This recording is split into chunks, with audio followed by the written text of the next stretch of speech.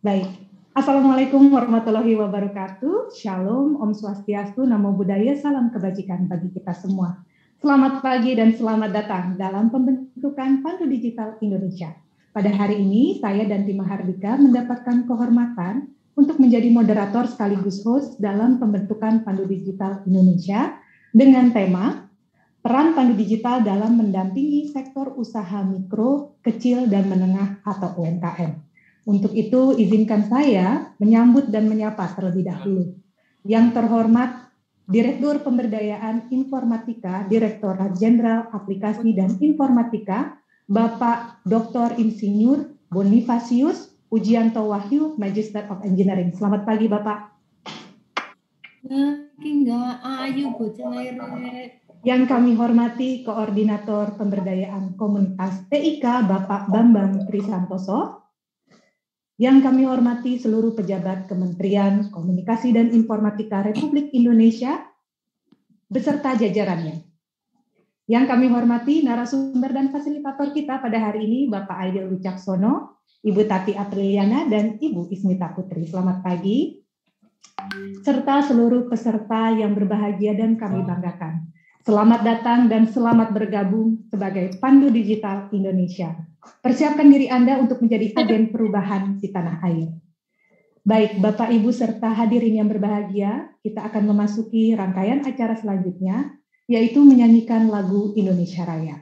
Untuk itu, seluruh peserta dan hadirin dimohon untuk mengaktifkan video, mematikan audio, dan dapat menyanyikan lagu di dalam hati saja. Menyanyikan lagu Indonesia Raya. Tiga berdiri, layar tiga.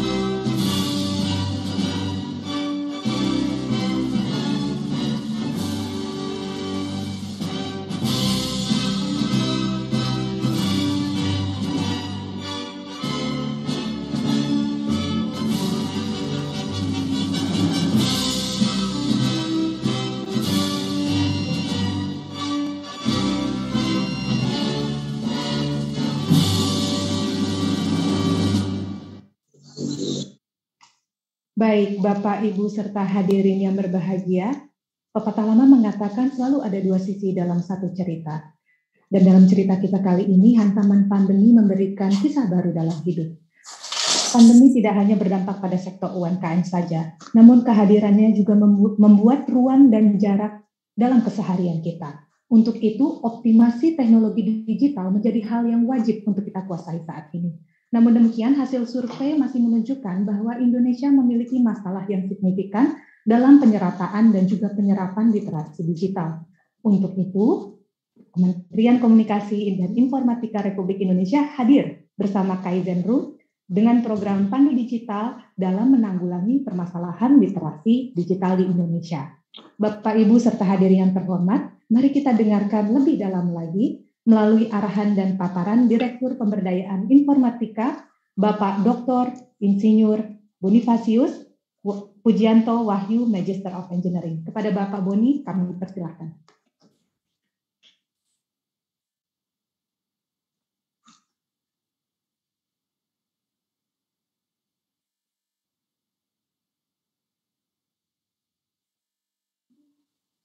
Baik, mungkin saat ini sedang ada persiapan terlebih dahulu. Unmute. Oke, okay. tadi di lock. Mohon maaf ada masalah. Terima kasih. Nah, Baik. Masih di Selamat pagi Bapak Boni. Baik Mbak, selamat pagi. Silakan Bapak Boni. Kami sudah tidak sabar menunggu paparan Bapak. Baik, baik. Uh, baik. Mungkin bisa dibantu Mas Betri atau Mbak Alif untuk materi.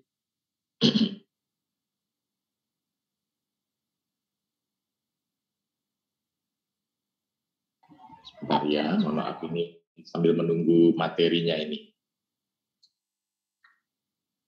Boleh dibantu? Oke. Okay.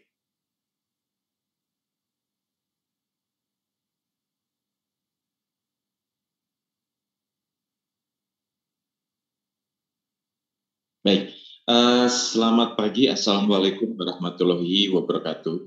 Salam sejahtera untuk kita semua. Om Swastiastu, Namo Buddhaya, salam kebajikan.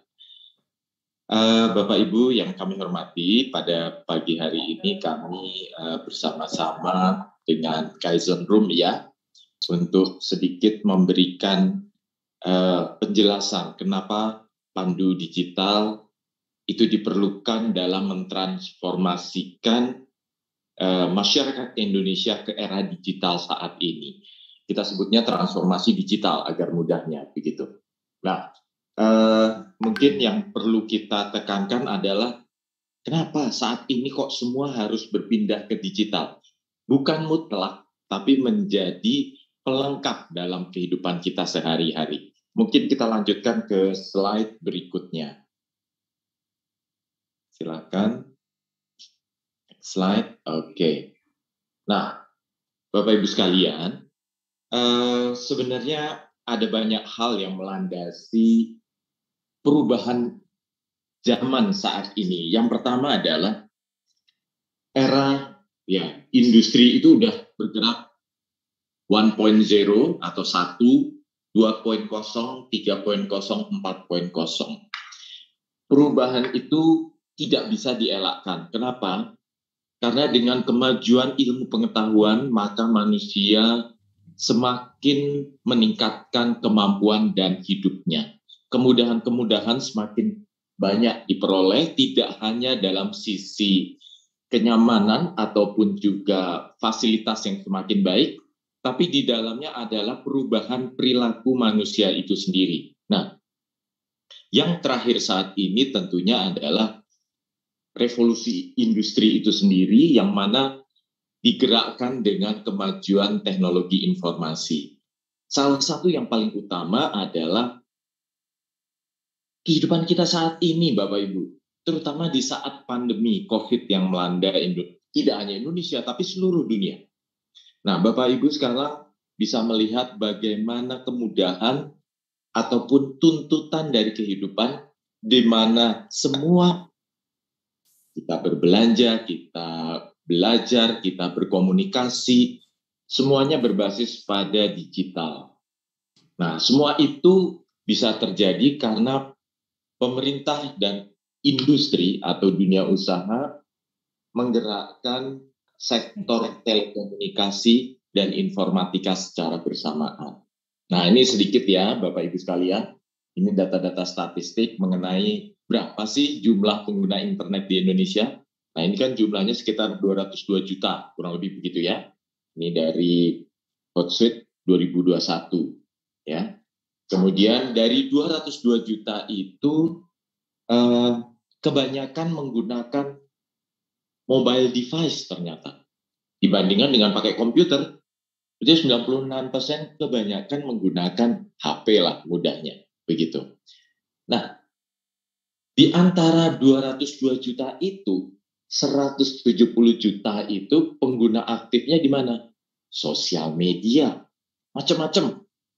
Dari yang Facebook, dari yang pakai uh, Instagram saat ini, bahkan ada berbagai macam platform, misalkan juga ada Twitter, bahkan platform-platform usaha. Nah, ini semua tentunya menjadi enabler atau yang menjadi penggerak bagi kemajuan teknologi dan juga ekonomi bangsa kita. Nah, ini yang akan saya singgung nanti secara lebih detail. Nah, Bapak Ibu sekalian, eh, setiap tahun ternyata jumlah pengguna internet juga meningkat sekitar 37 juta ya dari tahun sebelumnya. Jadi setiap tahun tuh naik eksponensial. Rata-rata sebenarnya eksponensial. Jadi sebelumnya bukan 37 tapi sebelumnya mungkin lebih kecil daripada itu, mungkin 30, 25. Jadi memang peningkatan pengguna internet itu luar biasa. Kemudian berapa rata-rata setiap manusia itu menggunakan internet? Rata-rata sekitar 8 jam 52 menit atau hampir 9 jam loh. Jadi ternyata kita ini bekerja ataupun menggunakan internet itu cukup panjang. Apalagi di saat pandemi perkuliahan, sekolah, dari SD, SMP, SMA, bahkan juga untuk berbagai macam kegiatan itu berbasis pada internet. Misalkan pada pagi hari ini kita bertemu melalui aplikasi Zoom, kita mengikuti acara workshop pada pagi ini juga memanfaatkan teknologi internet. Nah, next slide, kita melihat bahwa apa yang kita lakukan sebenarnya transformasi digital itu tidak hanya diamanatkan oleh Kominfo, tapi merupakan turunan dari arahan Presiden. Ada lima langkah. Yang pertama, percepatan eh, perluasan akses ya. Internet nggak mungkin terjadi kalau tidak ada akses internet. Nah, infrastruktur ini infrastruktur ini yang menjadi eh, penting baik itu yang sifatnya dari operator ataupun yang sifatnya diselenggarakan oleh pemerintah. Nah, kemudian ada juga yang kedua persiapan roadmap-nya ya, tadi udah digelar, tapi kan itu harus berbasis pada roadmap. Nah, roadmap ini dibangun agar sektor-sektor strategis itu tersentuh oleh kemajuan teknologi ini. Nah, kemudian yang ketiga, tentunya setelah ada infrastruktur ya BTS dan lain sebagainya kemudian ada roadmap ya data-data itu yang khususnya untuk pemerintah disatukan dalam pusat data nasional. Selain itu juga dibangun yang keempat langkah penyiapan regulasi khususnya skema-skema pendanaan dan pembiayaan untuk mendorong terjadinya transformasi digital ini. Yang terakhir dari keseluruhannya yang terakhir tapi paling penting adalah menyiapkan kebutuhan SDM talenta digital. Nah, Bapak Ibu, pagi ini bergabung di acara uh, Pandu Digital bersama Kasindrom. Tentunya ini kita berfokus pada menciptakan SDM talenta digital. Jadi, fungsi Bapak Ibu adalah penting. Karena apa? Nantinya akan menularkan atau memberikan, men-share ya, uh, pengetahuan yang Bapak Ibu miliki kepada rekan-rekan, sahabat, saudara-saudara, ataupun anak-anak misalkan, agar memanfaatkan internet itu dengan baik, benar, dan memberikan nilai tambah. Nah, nilai tambah ini yang sangat penting. Karena nilai tambah ini kita lihat ya, nah ini di slide selanjutnya. Nah ini uh, nilai tambah di bidang digital ini luar biasa. Maka Indonesia disebut nanti ke depannya menjadi Indonesia Digital Nation. Ada di sisi pemerintah, sisi kiri yang abu-abu ya, kemudian masyarakat digitalnya sendiri, dan ekonomi digital. Kenapa?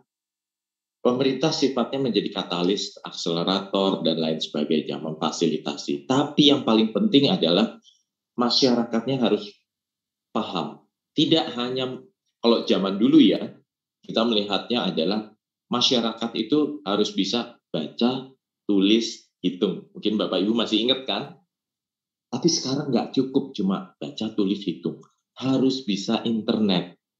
Kenapa? Karena di situlah kita memanfaatkan se sebagian besar kehidupan kita, khususnya untuk apa? Untuk terkait ekonomi yang di sisi kanan, ekonomi digital, itu banyak sekarang berpindah ke digital. Di dalamnya macam-macam. Itu bisa sifatnya adalah untuk eh, membangun usaha seperti UMKM yang Bapak Ibu miliki saat ini ataupun juga untuk mendorong dan tumbuh kembangnya berbagai usaha-usaha home industry lainnya begitu. Nah, ini kita siapkan berbagai pilar-pilar di bawahnya baik kebijakan, pengendalian, aktivitas digital, aplikasinya, infrastrukturnya, SDM-nya seperti Bapak Ibu sekarang kenapa bergabung, hingga teknologi dan riset inovasi. Oke, kita lanjutkan slide berikutnya. Ini ada program utama yang digelar oleh Kementerian Kominfo. Ini sebenarnya adalah bukan kiri ke kanan, tapi sebenarnya merupakan sebuah piramida ya. Piramida yaitu di layer yang paling dasar itu kita menyebutnya sebagai literasi digital bersama uh, cyber kreasi mitra kami ya. Jadi di sini kita mengajak seluruh masyarakat untuk mengenal. Tadi tidak hanya baik hitung tapi memanfaatkan dunia digital khususnya memanfaatkan uh, gadget, komputer, belajar untuk pemrograman misalkan atau memanfaatkan. Yang paling sederhana memanfaatkan berbagai macam platform yang ada. Khususnya yang sesuai dengan usaha Bapak Ibu semua misalkan UMKM monggo dicari yang sesuai kemudian di atasnya ada namanya digital talent scholarship ini untuk mendorong agar para penggerak masyarakat pendamping mereka menjadi pandu bagi masyarakat dalam memanfaatkan teknologi. Tingginya, memang ini hanya sebagian kecil, mereka adalah para praktisi level ataupun yang sangat mahir. Itu disebut mereka yang dalam kategori digital leadership. Ada programnya Digital Leadership Academy. Mereka-mereka ini yang disekolahkan baik untuk melanjutkan uh, Kominfo memberikan program untuk mereka melanjutkan sekolah ke jenjang yang lebih tinggi ataupun mendalami kompetensi atau keahlian khusus di bidang digital. Gitu. Nah, di mana pandu digital? Pandu digital sebenarnya lebih eh, fokus kepada layer mendidik mereka-mereka yang di level dasar gitu. Namanya pandu berarti mendampingi, membimbing kemudian memberikan informasi, kemudian juga memberikan seperti pelatihan ya individual agar lingkungan di sekitar kita lebih cakap. Nah, ke depannya nanti akan kita menyebutnya program ini sebagai makin cakap digital. Itu tagline yang uh, digaungkan oleh pemerintah agar di era digital saat ini kita makin cakap digital. Nah, di slide ini kita lihat uh, indeks literasi digital memang belum terlalu tinggi ya kita. Sebenarnya ini skalanya dari 5 kalau nggak salah. Kita tuh 3,4, 3,1, 3,38, 3,66. Tapi rata-ratanya yang paling kiri yang hijau 3,47. Jadi rasanya ini masih belum terlalu uh, sedang lah di atas sedang kurang lebih demikian. Kemudian Bagaimana caranya kita meliterasi masyarakat khususnya eh, yang berada di sekitar kita? Tentunya ada program literasi digital yang nanti Bapak Ibu juga uh, membantu uh, semua masyarakat ya. Modulnya telah disiapkan, ada modul digital culture, digital skill, digital stevie, dan digital ethics. Sebenarnya kalau masalah digital skill dan digital safety sebenarnya ini adalah uh, indeks yang paling tinggi masyarakat pada umumnya sangat paham begitu ya. Tapi ada juga yang perlu kita edukasi lagi, kita bimbing ya Bapak Ibu sekalian. Tapi sebenarnya yang juga tidak kalah penting adalah sisi kiri dan kanan tadi bagaimana digital culture atau budaya digital, kemudian etika digital sayap kiri dan sayap kanan ini sangat penting. Kenapa? Agar kita tidak salah dalam memanfaatkan teknologi tersebut. Baik yang sifatnya adalah kita memposting hal-hal yang tidak benar, bahkan ada hoax segala macam ya, atau juga kita dalam lebih memperdalam rasa kecintaan pada tanah air. Jadi jangan sampai kita mendapatkan atau memposting hal-hal yang sebenarnya bertentangan dengan Pancasila, kebinekaan, dan lain sebagainya. Jadi, Bapak Ibu, selain hal teknis, juga ada hal-hal yang sifatnya uh, budaya dan etika. Mohon untuk selalu ditekankan kepada para pengguna. Nah, Ini uh, terakhir mungkin pandu digitalnya. Slide selanjutnya. Nah, di sini uh, kalau kita lihat nanti Bapak Ibu uh, akan mengikuti pretest ya setelahnya. Terus kemudian setelah ini akan ada post test sehingga siapa yang lulus nanti akan menjadi pandu digital purwa atau yang merah begitu. Nanti data-datanya akan masuk pada sistem. Nah, bagi yang telah memiliki uh, level pertama atau merah ya, pandu digital purwa nanti bisa meningkatkan kecakapannya ke level selanjutnya yaitu pandu digital biru. Nah, di sini Bapak Ibu ya, tentunya ha harus lebih uh, dalam secara pemahaman, pengetahuan dan implementasinya. Nah, itu pandu biru itu sudah menjadi uh, contoh ataupun uh, membimbing bahkan mem memecahkan permasalahan. Namun demikian ada pandu digital utama atau hitam ini mungkin eh, mereka-mereka yang sangat menjadi uh, panutan ataupun yang menjadi rujukan kita belajar atau memahami bagaimana pemanfaatan. Nah, Bapak, kalau Bapak Ibu nanti selesai dan mendapat kecakapan tingkat merah, bisa belajar kepada tingkat biru atau yang tingkat hitamnya yang sangat mumpuni. Nah, semua ini sebenarnya adalah uh, menjadi tugas dari Bapak Ibu nanti sebagai pandu digital. Nah, semua ini bisa terjadi kenapa? Ini kerjasama. Jadi program pandu digital ini bukan hanya programnya Kominfo, tapi merupakan kolaborasi seluruh stakeholders atau kita sebut sebagai pentahelix untuk pandu digital. Jadi biasanya kita gampangnya ABG ya, akademisi, dunia bisnis, dunia usaha, dan pemerintah. Itu baru tiga. Satu lagi bergabung adalah media. Kemudian satu lagi adalah komunitas. Jadi kelima-limanya harus bersama-sama dalam mensukseskan program ini.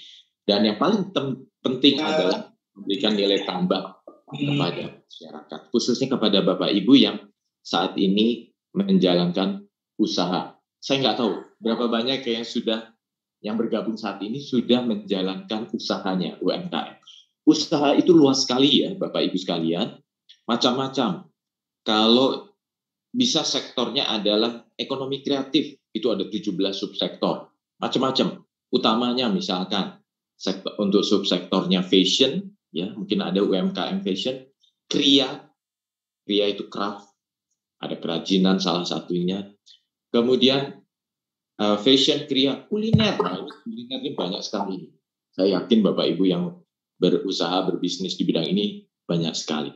Di luar itu masih banyak usaha-usaha lain baik itu sifatnya yang usaha digital mungkin bermain di apps membangun aplikasi atau animasi membuat film juga ada yang di bidang seni misalnya seni rupa, arsitek, interior designer dan lain sebagainya. Jadi eh, UMKM itu memang sangat luas, tapi kalau di Kementerian Kominfo mungkin lebih fokus kepada UMKM yang sebenarnya lebih digital. Tapi dalam uh, acara hari ini, monggo nanti bisa di-share apa usaha Bapak Ibu sekalian, keberhasilan Bapak Ibu sekalian juga sebenarnya patut kita dengar, sehingga ini akan menular memberikan semangat atau energi positif kepada rekan-rekan lainnya. Mungkin demikian yang bisa kami sampaikan. Semoga usaha Bapak Ibu sekalian semakin maju, uh, semakin memberikan nilai tambah ekonomi, baik kepada keluarga ataupun juga secara lebih luas nanti kepada masyarakat. Terima kasih. Mohon maaf kalau ada yang kurang. Eh, kami kembalikan kepada moderator. Wassalamualaikum warahmatullahi wabarakatuh. Waalaikumsalam warahmatullahi wabarakatuh. Terima kasih Bapak Boni selaku Direktur Pemberdayaan Informatika. Luar biasa sekali Bapak paparannya. Kami menjadi mengerti mengapa pandu digital adalah hal yang penting untuk kita ikuti sebagai masyarakat Indonesia. Sebab masyarakat yang baik tentu masyarakat yang makin cakap ya Pak digitalnya.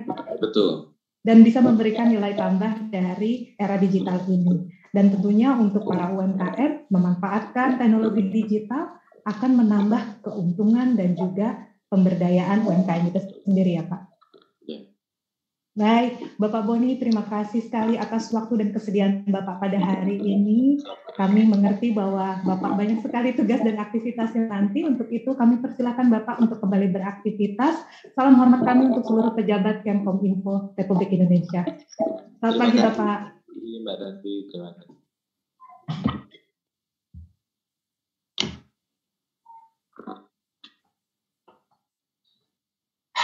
Baik, Bapak, Ibu, serta hadirin yang berbahagia, kita sebentar lagi akan memasuki acara inti, yaitu seminar dan workshop pembentukan Pandu Digital Indonesia. Namun sebelum itu, saya akan mengingatkan kembali mengenai tata tertib dan juga lima langkah mudah yang dapat kita ikuti untuk menjadi bagian dari Pandu Digital Indonesia. Yang pertama adalah peserta boleh mengaktifkan video dan wajib mematikan audio selama kelas online berlangsung, kecuali saat bertanya kepada narasumber. Yang kedua, pertanyaan seputar materi untuk narasumber melalui fitur chat pada saat sesi tanya jawab dan jika waktu mencukupi bisa secara langsung dengan fitur raise hand terlebih dahulu. Peserta wajib menjaga ketertiban dan khidmat selama acara berlangsung dan dilarang menghidupkan sendiri audio atau berteriak, menyahut, dan bertanya selama acara berlangsung. Yang keempat, menghadiri seluruh sesi seminar dan workshop tanpa henti dan diharapkan tidak meninggalkan tempat lebih dari 10 menit. Peserta juga wajib melakukan post-test seminar dan post-test workshop di halaman pandu.kominfo.go.id. Dan yang keenam, di masa pandemi COVID-19, kami menghimbau seluruh peserta yang berada di ruangan kerja, kampus, dan sekolah untuk tetap menjaga jarak dan menggunakan masker selama kegiatan. Kemudian, kami juga memiliki rundown acara seminar pada hari ini, bisa langsung dilihat di monitor masing-masing. Baik, jadi setelah nanti seminar dua seminar yang akan ada dan dipersembahkan pada hari ini masih ada workshop di jam uh, eh, 13 setelah waktu isoma dan setelah itu akan ada post test yang harus dilakukan untuk menjadi salah satu verifikasi Anda sebagai pandu digital Indonesia. Baik, selanjutnya kami juga memiliki lima langkah mudah, namun sebelumnya saya ingatkan untuk mengikuti media sosial, follow kami di @pandu digital Indonesia. Kami ada di berbagai platform uh, sosial media, yaitu Instagram, Twitter, Facebook, dan juga YouTube. Semuanya memiliki nama yang sama, yaitu @pandu digital Indonesia. Dan hari ini stakeholder yang tadi seperti Bapak Boni bilang adalah Kaizen Room. Anda juga bisa mengikuti seluruh media sosial Kaizen Room dengan nama yang sama Kaizen Room. Kami juga ada di TikTok, Facebook, dan YouTube. Selain juga kami juga ada di Instagram. Dan Kaizen Room ini sering memberikan virtual, um, sorry, kelas-kelas virtual gratis yang dapat diikuti oleh siapa saja, di mana saja, dengan melalui metode daring.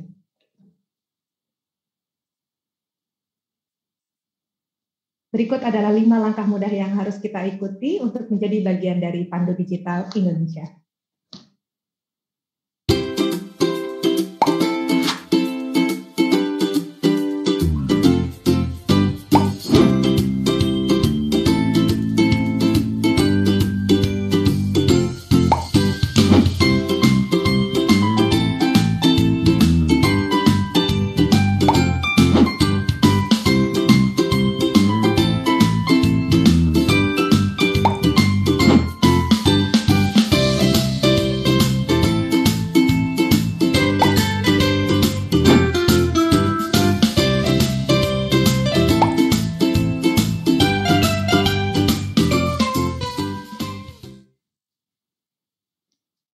Itu tadi lima langkah mudah yang harus kita ikuti untuk menjadi bagian dari Pandu Digital Indonesia. Benefit yang dapat kita ambil dari Pandu Digital Indonesia adalah kita dapat menjadi fasilitator untuk lingkungan sekitar kita. Ini saatnya Anda menjadi agen perubahan di tanah air.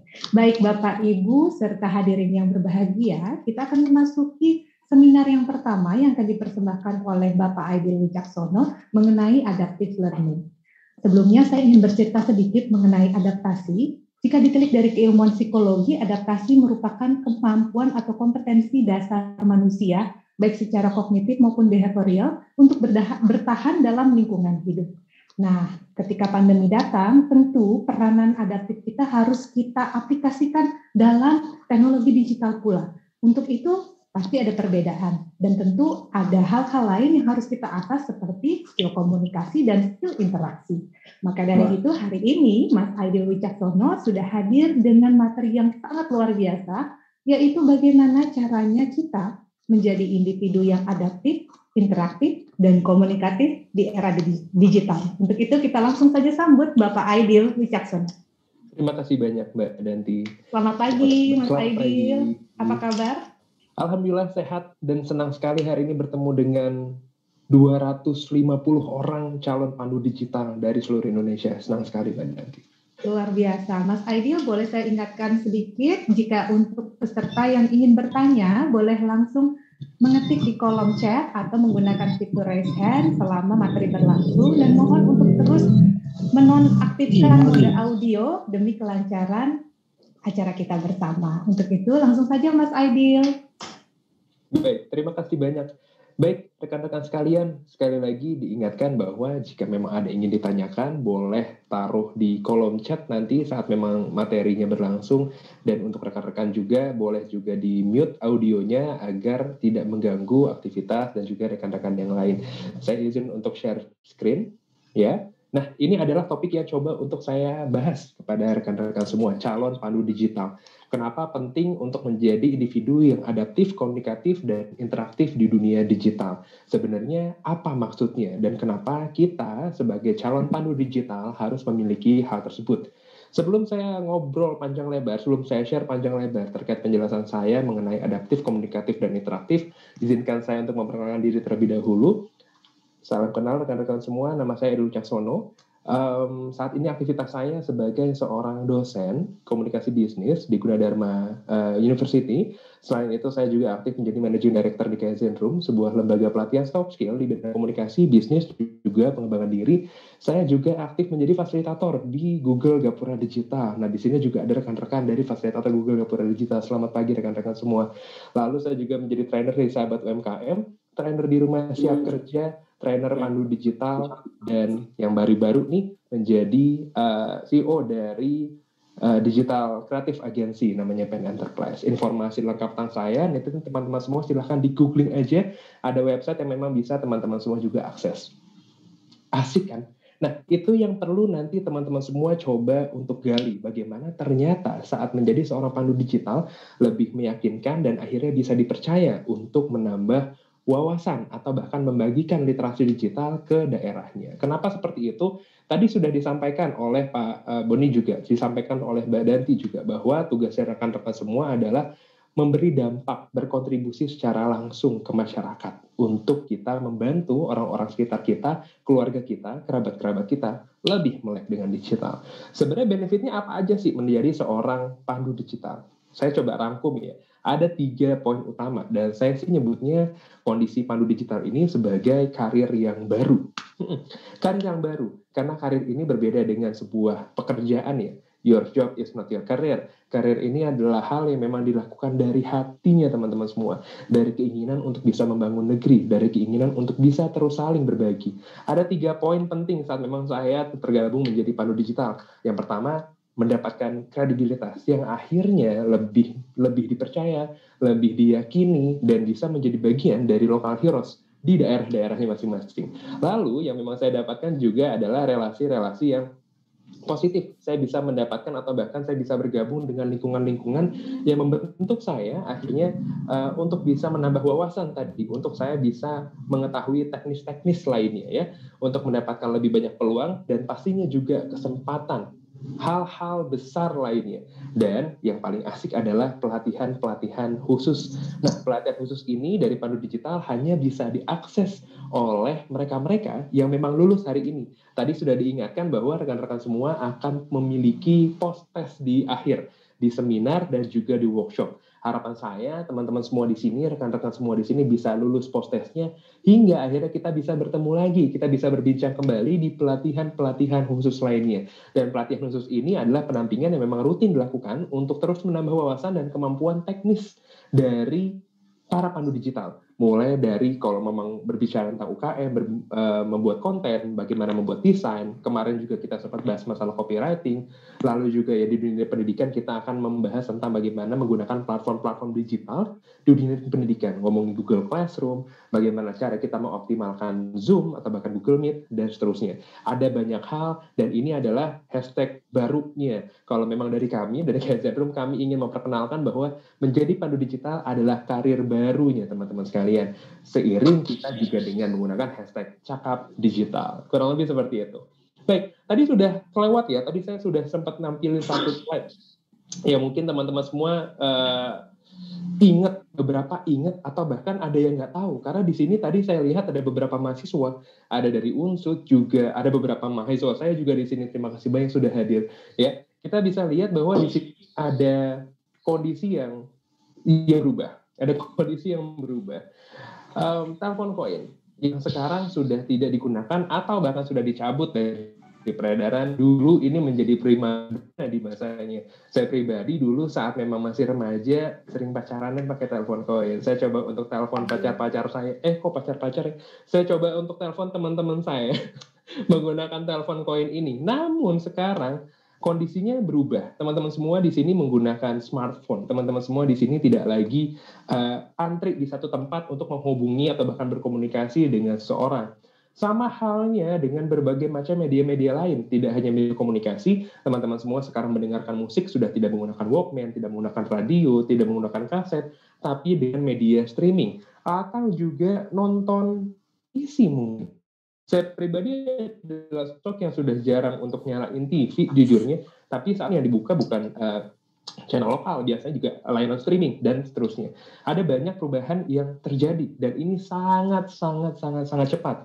Ada banyak yang kaget, ada banyak juga yang bisa adaptasi. Nah, makanya di topik hari ini saya mau ajak rekan-rekan sekalian untuk terus siap beradaptasi. Kenapa? Karena perubahannya akan terus cepat terjadi. Kita berbicara tentang infrastruktur mobil listrik sebentar lagi. Kita berbicara tentang 5G nanti, gitu ya. Nanti coba kita lihat. Tapi ini adalah perbandingan dari perubahan yang sudah kita rasakan sekarang. Hanya menjadi uh, telepon koin ini menjadi sebuah uh, apa namanya monumen, monumen sejarah bagi beberapa orang atau sebagian generasi. Kenapa saya ngomong sebagian generasi? Nah, di sini saya juga mau menggambarkan dari beberapa video. Saya coba untuk share videonya di sini, ya ada perkembangan teknologi yang ternyata semakin pesat. Video ini diambil dari uh, YouTube Indonesia.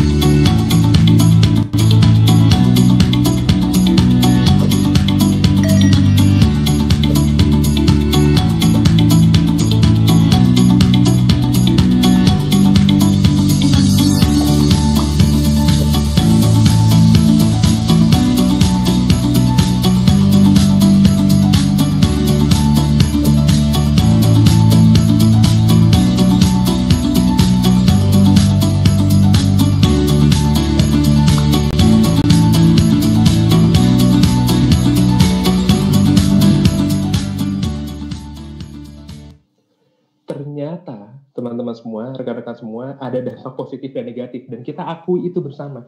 Rekan-rekan semua di sini menjadi bagian dari pengguna internet sendiri. Tadi disampaikan oleh Pak Boni bahwa ada 202,6 juta pengguna internet di Indonesia dan aktivitas dari harian kita menggunakan internet itu sekitar 9 jam, 8 jam 52 menit. Dan ternyata itu melebihi dari rata-rata penggunaan internet di seluruh dunia.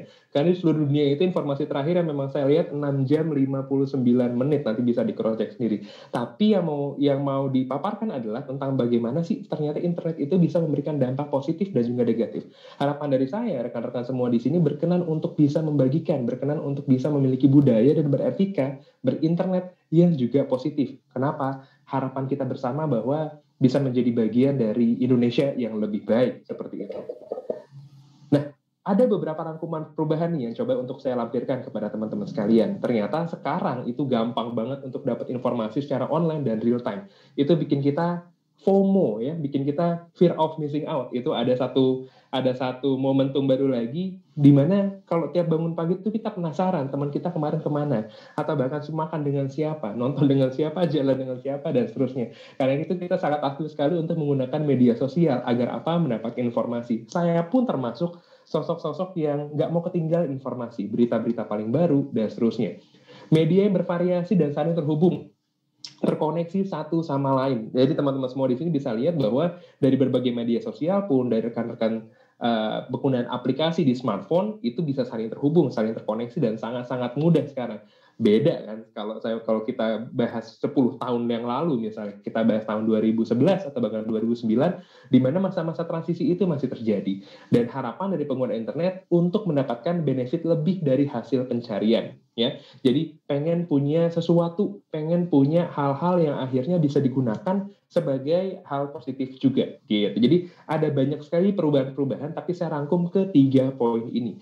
Namun ternyata tidak semua menikmati perubahan-perubahan ini. Teman-teman semua bisa kita sadari bersama bahwa ada loh sisi-sisi yang ternyata menghambat perubahan. Pertama nggak tahu dan kesulitan untuk menggunakan teknologi-teknologi yang ada sekarang. Um, alasannya ada banyak ini beberapa di antaranya ya, tidak merasa bahwa teknologi itu penting. Mm-mm. Lalu juga anggapannya bahwa internet itu sesuatu yang mahal. Iya, dulu dan semakin ke sini rasanya akan semakin murah. Maka sudah ada banyak sekali akses-akses internet gratis.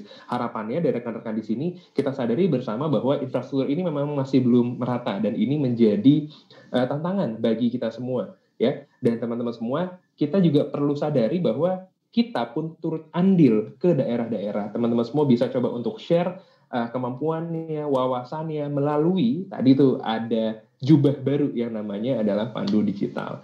Terus ada alasan lagi bahwa nggak ada waktu, saya sibuk banget untuk mempelajari teknologi karena pekerjaan-pekerjaan. Nah, hal-hal ini yang memang saya minta atau bahkan saya harap rekan-rekan semua harus waspadai. Kenapa? Beberapa media sosial baru terus muncul, beberapa uh, website atau bahkan informasi-informasi baru itu terus berhadiran dan cara-cara atau bahkan polanya itu akan terus berkembang. Jika memang kita uh, tidak mengikuti perubahan tersebut, saya tidak mau nyebut brand, tapi saya yakin teman-teman semua tahu bahwa ada beberapa brand yang akhirnya tidak mencoba untuk berubah dan akhirnya diam di tempat hingga selesai.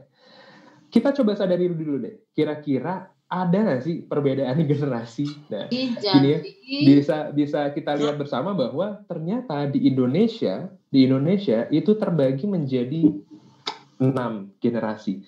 Generasi apa aja? Mana-mana aja sih yang memang ternyata bisa menikmati atau bahkan bisa menciptakan perubahan? Nah, ada generasi tradisionalis, ya kan? Ada generasi baby boomers, generasi X, generasi Y, dan generasi Z bisa juga dilihat di sana ada beberapa urutan atau bahkan beberapa uh, patokan dari tahunnya. Nggak perlu ditaruh di kolom chat, disimpan dalam hati aja. Tapi masing-masing generasi yang mau saya sampaikan adalah di sini itu ada kebiasaan atau bahkan pola-pola yang berbeda.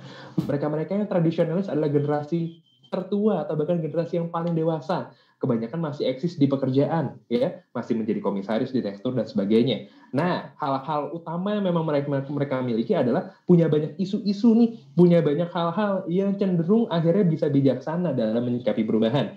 Ngomongin baby boomers lahir pada periode perang dunia. Nah, ini eh, kakek-kakek saya juga nih cenderung memegang kendali kekuasaan dan punya pengaruh besar dalam ekonomi. Generasi X, saya yakin di sini pun banyak banyak mengalami shifting di hidupnya, mulai dari era musik dan film di 60-an, 70-an, hingga 80-an. Dan kebanyakan sekarang sudah menjadi orang tua di generasi Z.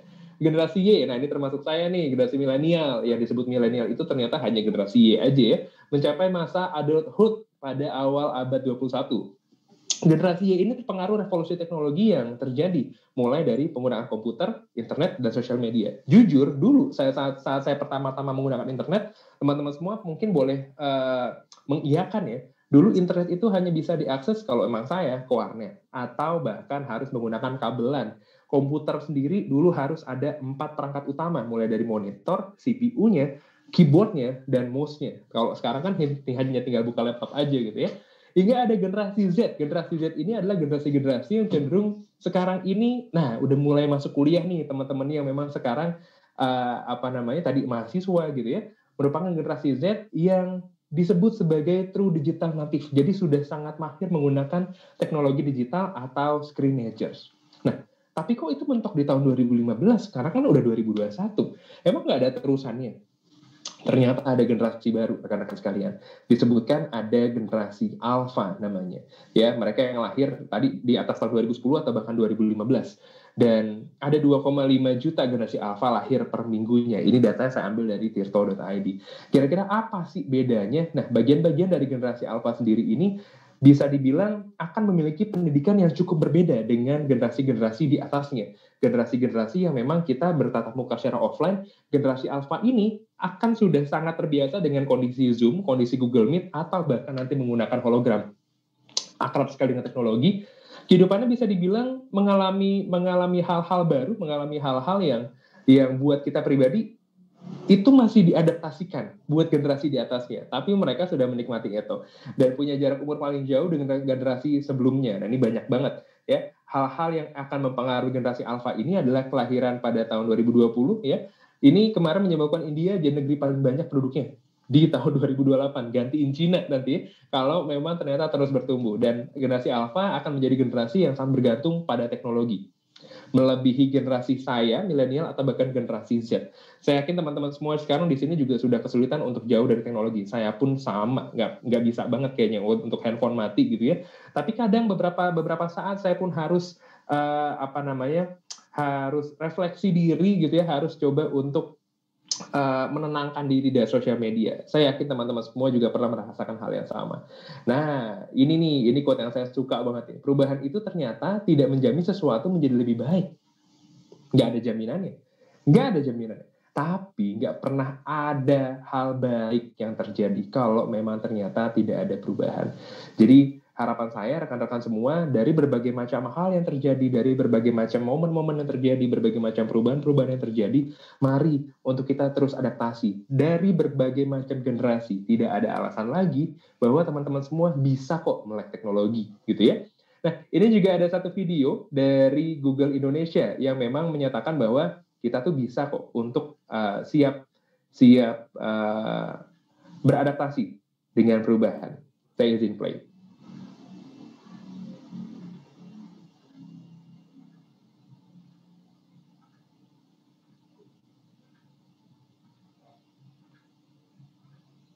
Belum ngeplay kayaknya jaringan saya terganggu.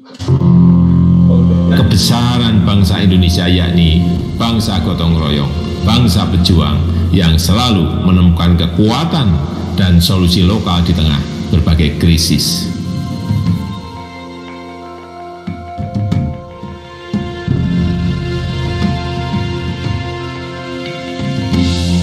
Kita akan bangkit. Kalau jatuh, nggak akan jauh. Kita manusia kuat.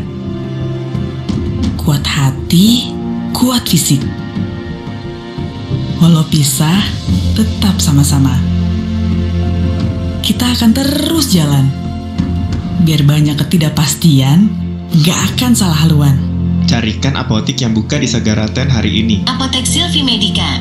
Pastikan untuk memeriksa imbauan COVID-19 sebelum Anda pergi. Biar tidak ke kelas, tetap belajar keras. Kita akan terus maju, tidak menunggu dan diam saja. Biarpun gaptek, tetap usaha. Adaptasi teknologi, biar jadi bisa. Kita nggak takut, hati kita nggak pernah ciut saat kepentok di satu pintu, yang lain bukakan yang baru. Kita terus ke depan, karena kita nggak sendirian. Kita berjuta-juta manusia yang bergerak seirama, menangkap jutaan kemungkinan yang terbuka. Jika kita mampu melalui kesulitan ini bersama, kita justru akan menjadi bangsa yang semakin kuat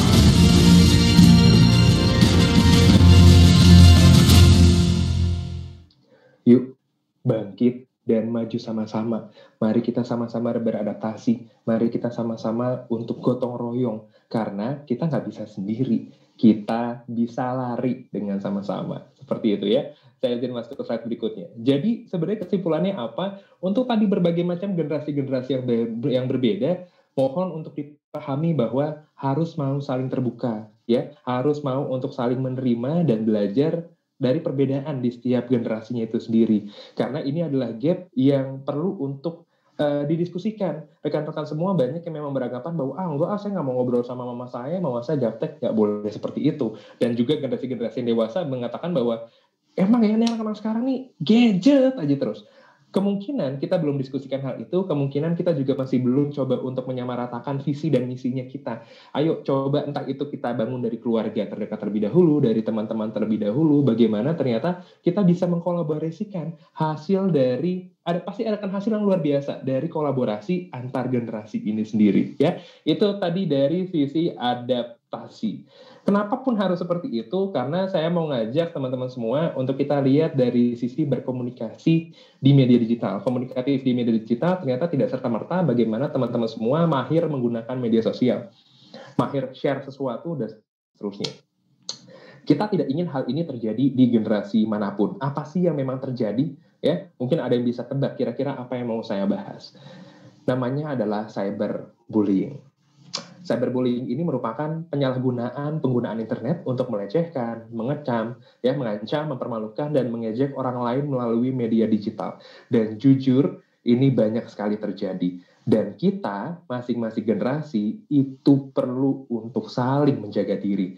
50% remaja usia 15 sampai 13 sampai 15 tahun pernah mengalami cyberbullying. Karena mereka sudah cukup aktif di media sosial karena mereka juga uh, sering sekali menggunakan media sosial dan mereka kadang mengalami ketakutan. Itu nanti kita bahas, ada dampaknya. Dan 50% lainnya, ya 50% juga itu berharap pertolongan atau bahkan bantuan dari orang tua, dari teman-teman dekatnya. Bukan berarti dibantu untuk dilecehkan, atau yang biasa saya dengar adalah, udahlah, nggak apa-apa kok, udahlah, mungkin kamu kurang ibadah dan seterusnya. Padahal ini menjadi tanggung jawab kita bersama, apalagi di lingkungan keluarga sendiri. Bagaimana ternyata teman-teman semua bisa mengambil andil. Kita coba untuk merefleksikan diri bahwa apa yang memang bisa saya bantu, atau bahkan kenapa kamu bisa seperti ini dan seterusnya. Kita coba untuk tanyakan hal itu. Contoh perilakunya itu seperti apa sih kalau memang ternyata saya berbullying? Nih, menyebar kebohongan tentang seseorang atau kita nyebutnya hoax gitu ya atau bahkan berita-berita palsu. Lalu juga posting foto atau video yang memalukan atau bahkan menyakitkan bagi seseorang. Mengirim pesan atau ancaman yang juga menyakitkan via chat. Itu juga sering sekali terjadi. Lalu juga menuliskan kata-kata menyakitkan di kolom komentar. Nah, kemarin kan baru banget tuh Microsoft uh, apa namanya merilis informasi terbaru tentang ternyata Indonesia masyarakat yang paling tidak ramah di dunia digital. Karena ada sesuatu hal yang sangat-sangat viral atau bahkan lagi ramai diperbincangkan, ramai di ramai dibagikan, biasanya masyarakat Indonesia itu sering sekali untuk hadir dan akhirnya berkontribusi untuk melakukan kegiatan-kegiatan ini. Ada juga yang meniru atau mengatasnamakan seseorang, mengirim pesan jahat dan seterusnya. Nah, ini contoh-contoh dan harapan saya, kenapa saya kenapa saya sampaikan ini teman-teman semua sebagai seorang pan digital, teman-teman semua ada representatif dari lokal heroes-nya. Teman-teman semua adalah representatif dari orang-orang yang dipercaya, orang-orang yang diyakini bahwa oh kalau saya belajar dengan Mbak Tia, oh belajar dengan Mas Apip, oh kalau saya belajar dengan Mas Fitra, oh kalau saya belajar dengan Mas Daniel, saya akan mendapatkan sesuatu untuk bisa membantu usahanya saya, untuk bisa membantu ternyata uh, aktivitas saya di bertani atau bahkan nelayan, bagaimana saya di desa wisata, atau bahkan aktivitas saya sebagai seorang guru atau dosen di dunia pendidikan. Jadi, mohon dipahami baik-baik bahwa kita perlu untuk menjaga ini. Kira-kira apa sih? Bukan biasa aja. Hal-hal gitu tuh biasa aja baperan aja. Nah itu yang memang ternyata perlu diwaspadai. Kata-kata pamungkas seperti ah baper. Tidak seperti itu. Tapi ternyata teman-teman semua perlu untuk memiliki empati hingga akhirnya berhasil untuk uh, memiliki perasaan yang sama ya. Dampaknya apa sih? Serem loh ternyata dampak dari cyberbullying itu ya. Dampak buruknya bisa bertahan cukup lama jadi trauma dan mempengaruhi seorang dalam banyak cara ya mulai dari fisik lelah capek banget kurang tidur ada gejala sakit perut sakit kepala hingga yang ekstrim itu adalah bunuh diri dan kita tidak mau ini terjadi kita tidak mau ini terjadi. Ya. Lalu juga dampak secara emosional. kadang merasa malu, akhirnya menjadi uh, pendiam, kehilangan minat terhadap hal-hal yang disuka dan seterusnya.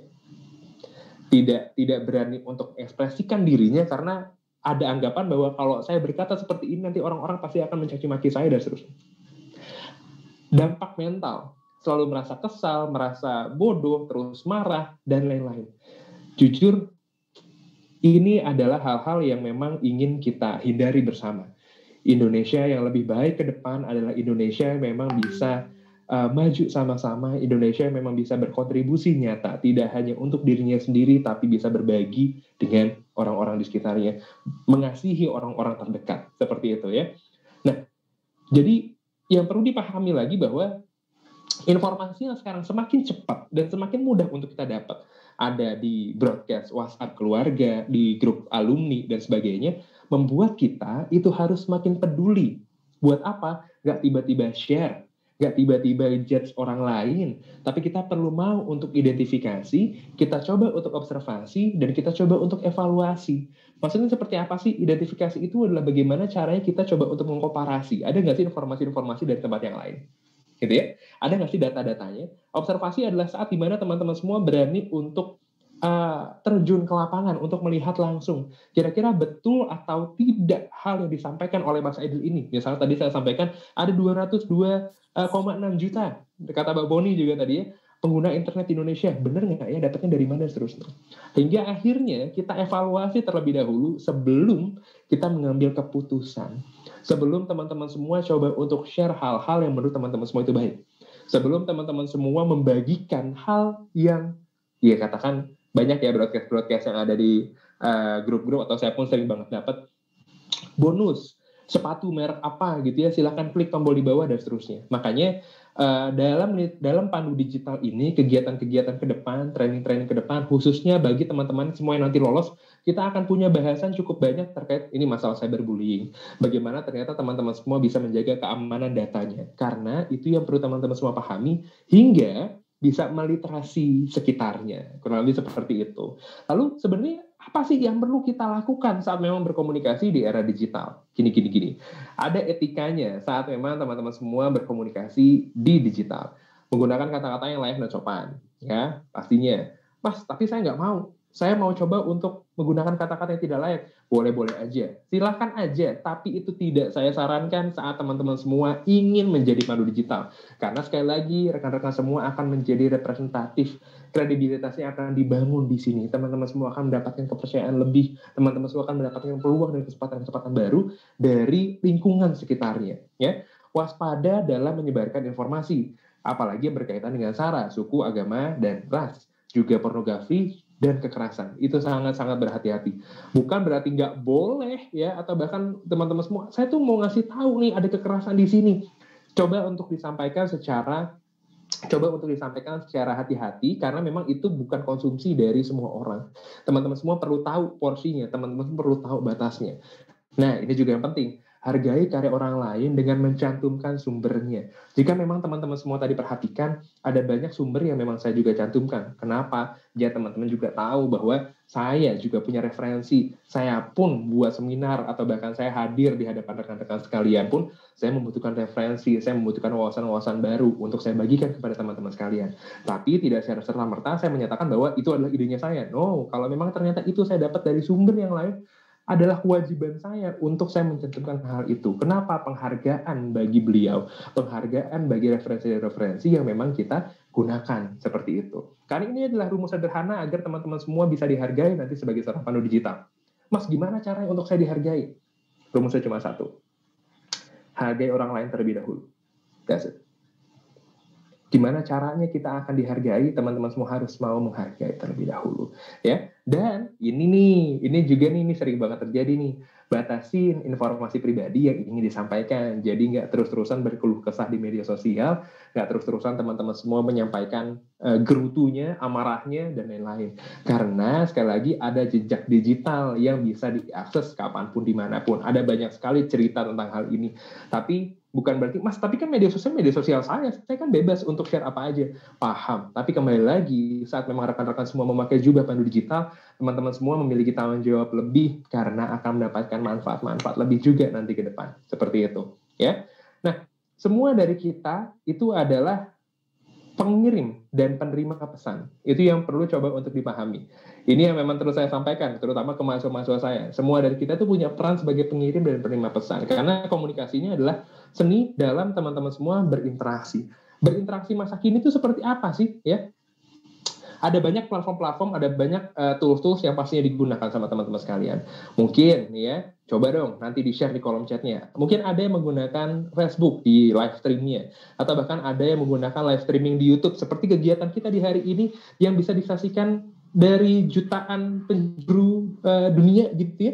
Jutaan orang bisa menyaksikan karena memang ini live streaming di YouTube. Atau bahkan menggunakan Zoom seperti ini. Menggunakan Google Meet menggunakan WhatsApp menggunakan Instagram Spotify konten audio dan sebagainya. Nah kenapa memang tadi pemahaman konten yang diberikan cukup penting? Karena rekan-rekan semua juga perlu tahu platformnya. Saat memang munculnya nanti di Zoom sebenarnya apa sih yang memang perlu dilakukan? Tools-toolsnya apa aja sih? Alat-alatnya apa aja sih? Bagaimana cara saya nge-recording? Bagaimana ternyata saya cara share screen, bagaimana ternyata saya bisa menampilkan dua layar, ya kan, dua dua akun misalnya di satu layar dan seterusnya. Nah itu yang memang akan coba untuk kita godok. Di WhatsApp sendiri pun teman-teman semua perlu mengetahui konten-konten apa saja yang memang layak atau bahkan tidak layak untuk dibagikan. Google Classroom ini adalah sebuah sebuah platform yang sangat-sangat membantu di sektor pendidikan pastinya agar teman-teman semua semakin uh, mudah berinteraksi. Nah, yang kadang menjadi masalah atau bahkan yang memang kadang menjadi sebuah uh, pertanyaan adalah kita dapat sesuatu tuh langsung aja. Nah, mereka-mereka atau bahkan audiensnya, penikmat-penikmat kontennya itu perlu untuk diberikan bridging atau bahkan saya bilang sih diberikan arahan terlebih dahulu. Jadi jangan sampai teman-teman semua menimbulkan asumsi. Yuk silahkan kerjakan PR-nya di sini. Ya PR-nya apa? Coba tolong dijelasin dong. Coba tolong dirunuti dari awal sampai akhir dan seterusnya. Karena di sini gini, dunia digital ini belum bisa baca hatinya. Ke depannya kita akan kita akan bahas lagi tentang artificial intelligence pastinya. Tapi digital yang sekarang, platform-platform digital yang sekarang, teman-teman semua perlu pahami bahwa kita mau ngomong apa, kita perlu mutarain itu secara jelas via teks, atau bahkan via audio misalnya dengan konten-konten saya pribadi di Spotify ada ya podcast contohnya dan lain-lain gitu loh. Jadi teman-teman semua bisa coba untuk melihat beberapa peluang-peluang dari penggunaan konten dan platform-platform yang memang akan digunakan. Gimana sih caranya meningkatkan interaksi-interaksi di dunia digital? Ya, pastinya ya ngangkat topik-topik yang dekat dengan audiensnya. Angkat topik dengan yang dekat bersama audiensnya cara kita tahu audiens kita siapa? Gini, teman-teman semua silahkan dilihat aja circle terdekatnya, orang-orang terdekatnya, siapa yang biasa diajak ngobrol, atau bahkan siapa yang memang biasa dampingi. Saya pribadi biasa ketemu dengan UKM dari Sabang sampai Merauke. Saya pribadi pastinya juga ketemu dengan mahasiswa. Karena itu topik-topik saya adalah terkait produktivitas, ngomongin masalah karir, bagaimana caranya uh, penggunaan digital marketing dan seterusnya. Biasa saya share juga itu di Instagramnya saya. Lalu juga pastiin bahwa topik ini memang dipahami oleh audiens biar apa sih mereka juga relate relevan mereka juga bisa mengiyakan oh iya saya juga pernah merasakan hal yang sama ya tawarkan solusi dari masalah yang dihadapi oleh audiensnya kira-kira mereka tuh butuh jawaban dari apa sih mereka tuh apa sih yang lagi dirasain sekarang ya dan buat konten-konten yang memang mudah diingat juga meninggalkan kesan baik untuk dibagikan kembali nah konten-konten yang seperti apa sih hari ini kan teman-teman semua nggak cuma seminar, nanti siang akan ada workshop. Di mana workshop itu teman-teman semua juga akan coba untuk melihat kira-kira konten seperti apa yang akhirnya bisa diingat dan meninggalkan kesan untuk dibagikan kembali. Fungsinya apa sih dibagikan kembali? Kalau ternyata konten yang teman-teman semua buat, apa yang teman-teman semua sajikan, entah itu caption, entah itu teman-teman semua share uh, uh, apa namanya video, audio, atau bahkan foto, jika memang itu memiliki solusi atau bahkan itu bermanfaat bagi orang lain, pastinya mereka tidak akan segan untuk membagikan hal-hal itu. Dan kita juga bisa mengajak audiens kita untuk memberikan feedback atau bahkan respon itu tersendiri. Contohnya seperti apa sih? Nah, buat kamu yang ternyata ingin banget jadi pandu digital, coba dong cek atau bahkan coba dong uh, chat uh, di bawah, komentar di bawah dan seterusnya. Atau bahkan bagaimana sih sarannya teman-teman semua terhadap saya? Apakah ternyata teman-teman semua memiliki masukan untuk saya pribadi? Silahkan ya nanti cari di Google, silahkan berikan review dan seterusnya. Gitu. Nah, itu adalah beberapa tips untuk teman-teman semua nanti meningkatkan interaksi, entah itu melalui media sosial, melalui websitenya, atau bahkan di kehidupan nyata pastinya. ya. Nah, kalau ngomong-ngomong masalah konten, ini terakhir mungkin yang memang akan saya bahas sebelum nanti kita akan masuk ke sesi tanya jawab bersama Mbak Danti. dalam prinsip pembuatan konten ini teman-teman semua butuh dua aja. Yang pertama adalah jangan stres. Kenapa jangan stres? Banyak dari kita yang ragu untuk menciptakan sebuah konten-konten digital karena tadi takut untuk dibully atau bahkan takut dengan pendapat orang lain, takut dengan kayaknya saya nggak bisa deh, kayaknya saya terlalu pemalu deh untuk bisa hadir atau saya kayaknya uh, susah deh untuk bisa seperti itu. Ternyata nggak itu yang dicari. Semakin sering teman-teman semua menelurkan atau bahkan mencoba untuk membuat sebuah konten, kualitasnya pun akan semakin meningkat. Jadi jangan berharap bahwa akan dapat kualitas langsung, ya. Tapi teman-teman semua bisa coba untuk melihat dari kuantitinya dulu. Secara perlahan pasti akan ada evolusi. Sama halnya seperti kita bersama, kita pernah melukis lukisan yang sama. Tahu nggak lukisan apa? Gunung, ada jalan raya, ya ada mobil di tengahnya, ada sawah, ada Pak Tani dengan keluarga, ada awan di atas gunungnya, ada matahari dan sebagainya. Dulu kita pernah melukis lukisan yang sama saat memang kecil, tapi sekarang saat memang kita diminta untuk melukis lukisan yang sama, pasti ada perbedaan. Kita mengetahui bahwa langit itu ternyata langit itu ternyata nggak cuma warna biru, langit itu ternyata bisa merah, bisa jingga, bisa orange, atau bahkan hitam kelam dengan titik-titik di dalamnya yang menandakan bahwa itu ada bintang. Oh ternyata di langit itu nggak cuma ada burungnya aja, ternyata kita bisa taruh pesawat. Oh ternyata di jalan itu nggak cuma hanya ada mobil aja, ada motornya dan seterusnya. Ada proses yang memang teman-teman semua perlu untuk lewati. Dan ini tips yang kedua, prinsip yang kedua adalah senang untuk bisa berbagi. Senang untuk berbagi ini yang memang perlu teman-teman semua coba untuk uh, taruh dalam-dalam di dirinya bahwa apa pun yang teman-teman semua nanti share ya ketahuilah bahwa selalu ada yang terbantu dari konten yang teman-teman semua buat ya. Jadi mikirnya adalah saya akan saya bisa bantu siapa hari ini? Atau bahkan saya bisa membagikan apa hari ini? Saya bisa share apa hari ini? Saya bisa bantu siapa hari ini? Poinnya itu ya. Poinnya itu. Dan uh, last but not least ini adalah prinsipnya saya juga saat memang nanti teman-teman semua menjadi seorang pandu digital. Uh, ada sebuah pepatah dari Larry quote dari beliau yang memang terus saya gunakan termasuk uh, di KJN Room pastinya di tim-timnya saya. Always deliver more than expected. Berikan yang terbaik versinya teman-teman semua melebihi dari apa yang diekspektasikan oleh orang-orang dan saya yakin rekan-rekan semua hari ini bisa lolos menjadi pandu digital dan kita bisa bersama-sama menjadi pandu digital yang memberikan hal-hal baik untuk negeri ini. Bisa berkontribusi nyata bagi perbaikan Indonesia. Terima kasih banyak. Sekian dari saya. Saya kembalikan kepada Mbak Danti. Wassalamualaikum warahmatullahi wabarakatuh. Waalaikumsalam warahmatullahi wabarakatuh. Terima kasih Mas Aidil, tapi masih ada waktu sepertinya untuk kita bertanya-tanya ya Mas Aidil mengenai materi yang baru saja Mas Aidil sampaikan. Jadi kalau tadi saya melihat ada beberapa highlight dari peserta kita yang sebenarnya kalau kesah yang mungkin mewakili perasaan kita semua. Jadi salah satunya dari Mbak Wiwin Nospitalia bilang bahwa kalau di desa tuh udah ada HP tapi kok penggunanya nggak bijak gitu. Terus yang kedua ada Mbak Mivita, aduh sosial media tuh kurang baik ya bahasanya.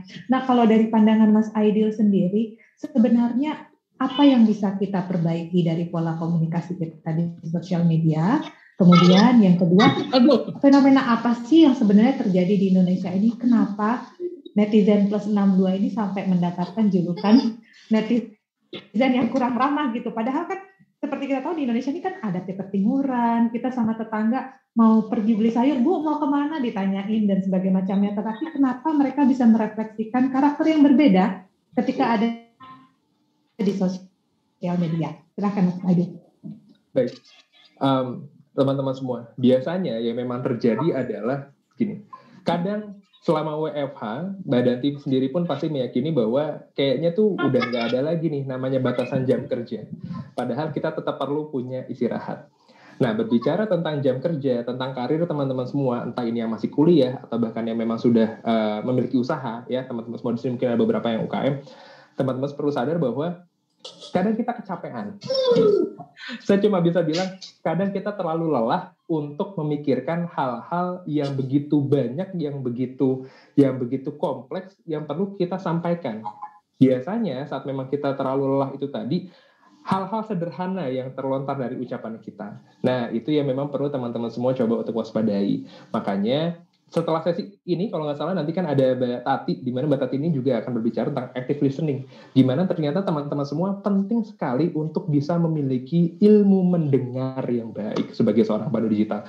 Penting untuk bisa merasakan apa sih yang ternyata orang lain itu juga rasakan kalau ternyata saya ucapkan hal yang A, kira-kira dampaknya seperti apa? Bukan berarti kita harus tampil sempurna, tidak, bukan seperti itu maksudnya. Tapi teman-teman semua bisa mengetahui dampaknya dari ucapan yang teman-teman semua coba untuk lontarkan, ya. Jangan sampai ternyata ini ada ada banyak banget hal-hal yang terjadi uh, di Indonesia terutama beberapa minggu belakangan terkait uh, sosok babi ngepet, terkait sosok uh, uh, banyak sih kemarin. Saya kalau mau nyebutin satu-satu kayaknya uh, kurang. Tapi harapannya teman-teman semua bisa memiliki skill mendengarkan dan yang kedua tips dari saya sih Mbak Nanti mau coba untuk berpikir kritis sedikit. Bukan berarti berpikir sederhana itu nggak perlu, berpikir sederhana itu perlu. Namun dalam bermedia sosial tadi sudah saya sampaikan bahwa teman-teman semua perlu memiliki etika-etika agar bisa menjalin keharmonisan kebangsaan bersama. Seperti itu Mbak Nanti.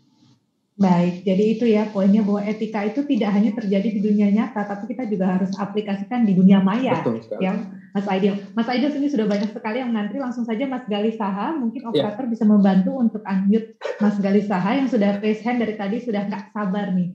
Ini sahabat saya nih Mbak Danti sebenarnya. Oh ini bersahabat ya, berarti pertanyaannya biasanya suka aneh-aneh nggak nih Mas ya, Aidil? Biasanya, biasanya okay. sahabat tuh menusuk biasa pertanyaan. Silakan Mas Gali. Sehat-sehat. Halo Mas Aidil, sehat-sehat. Mas Aidil.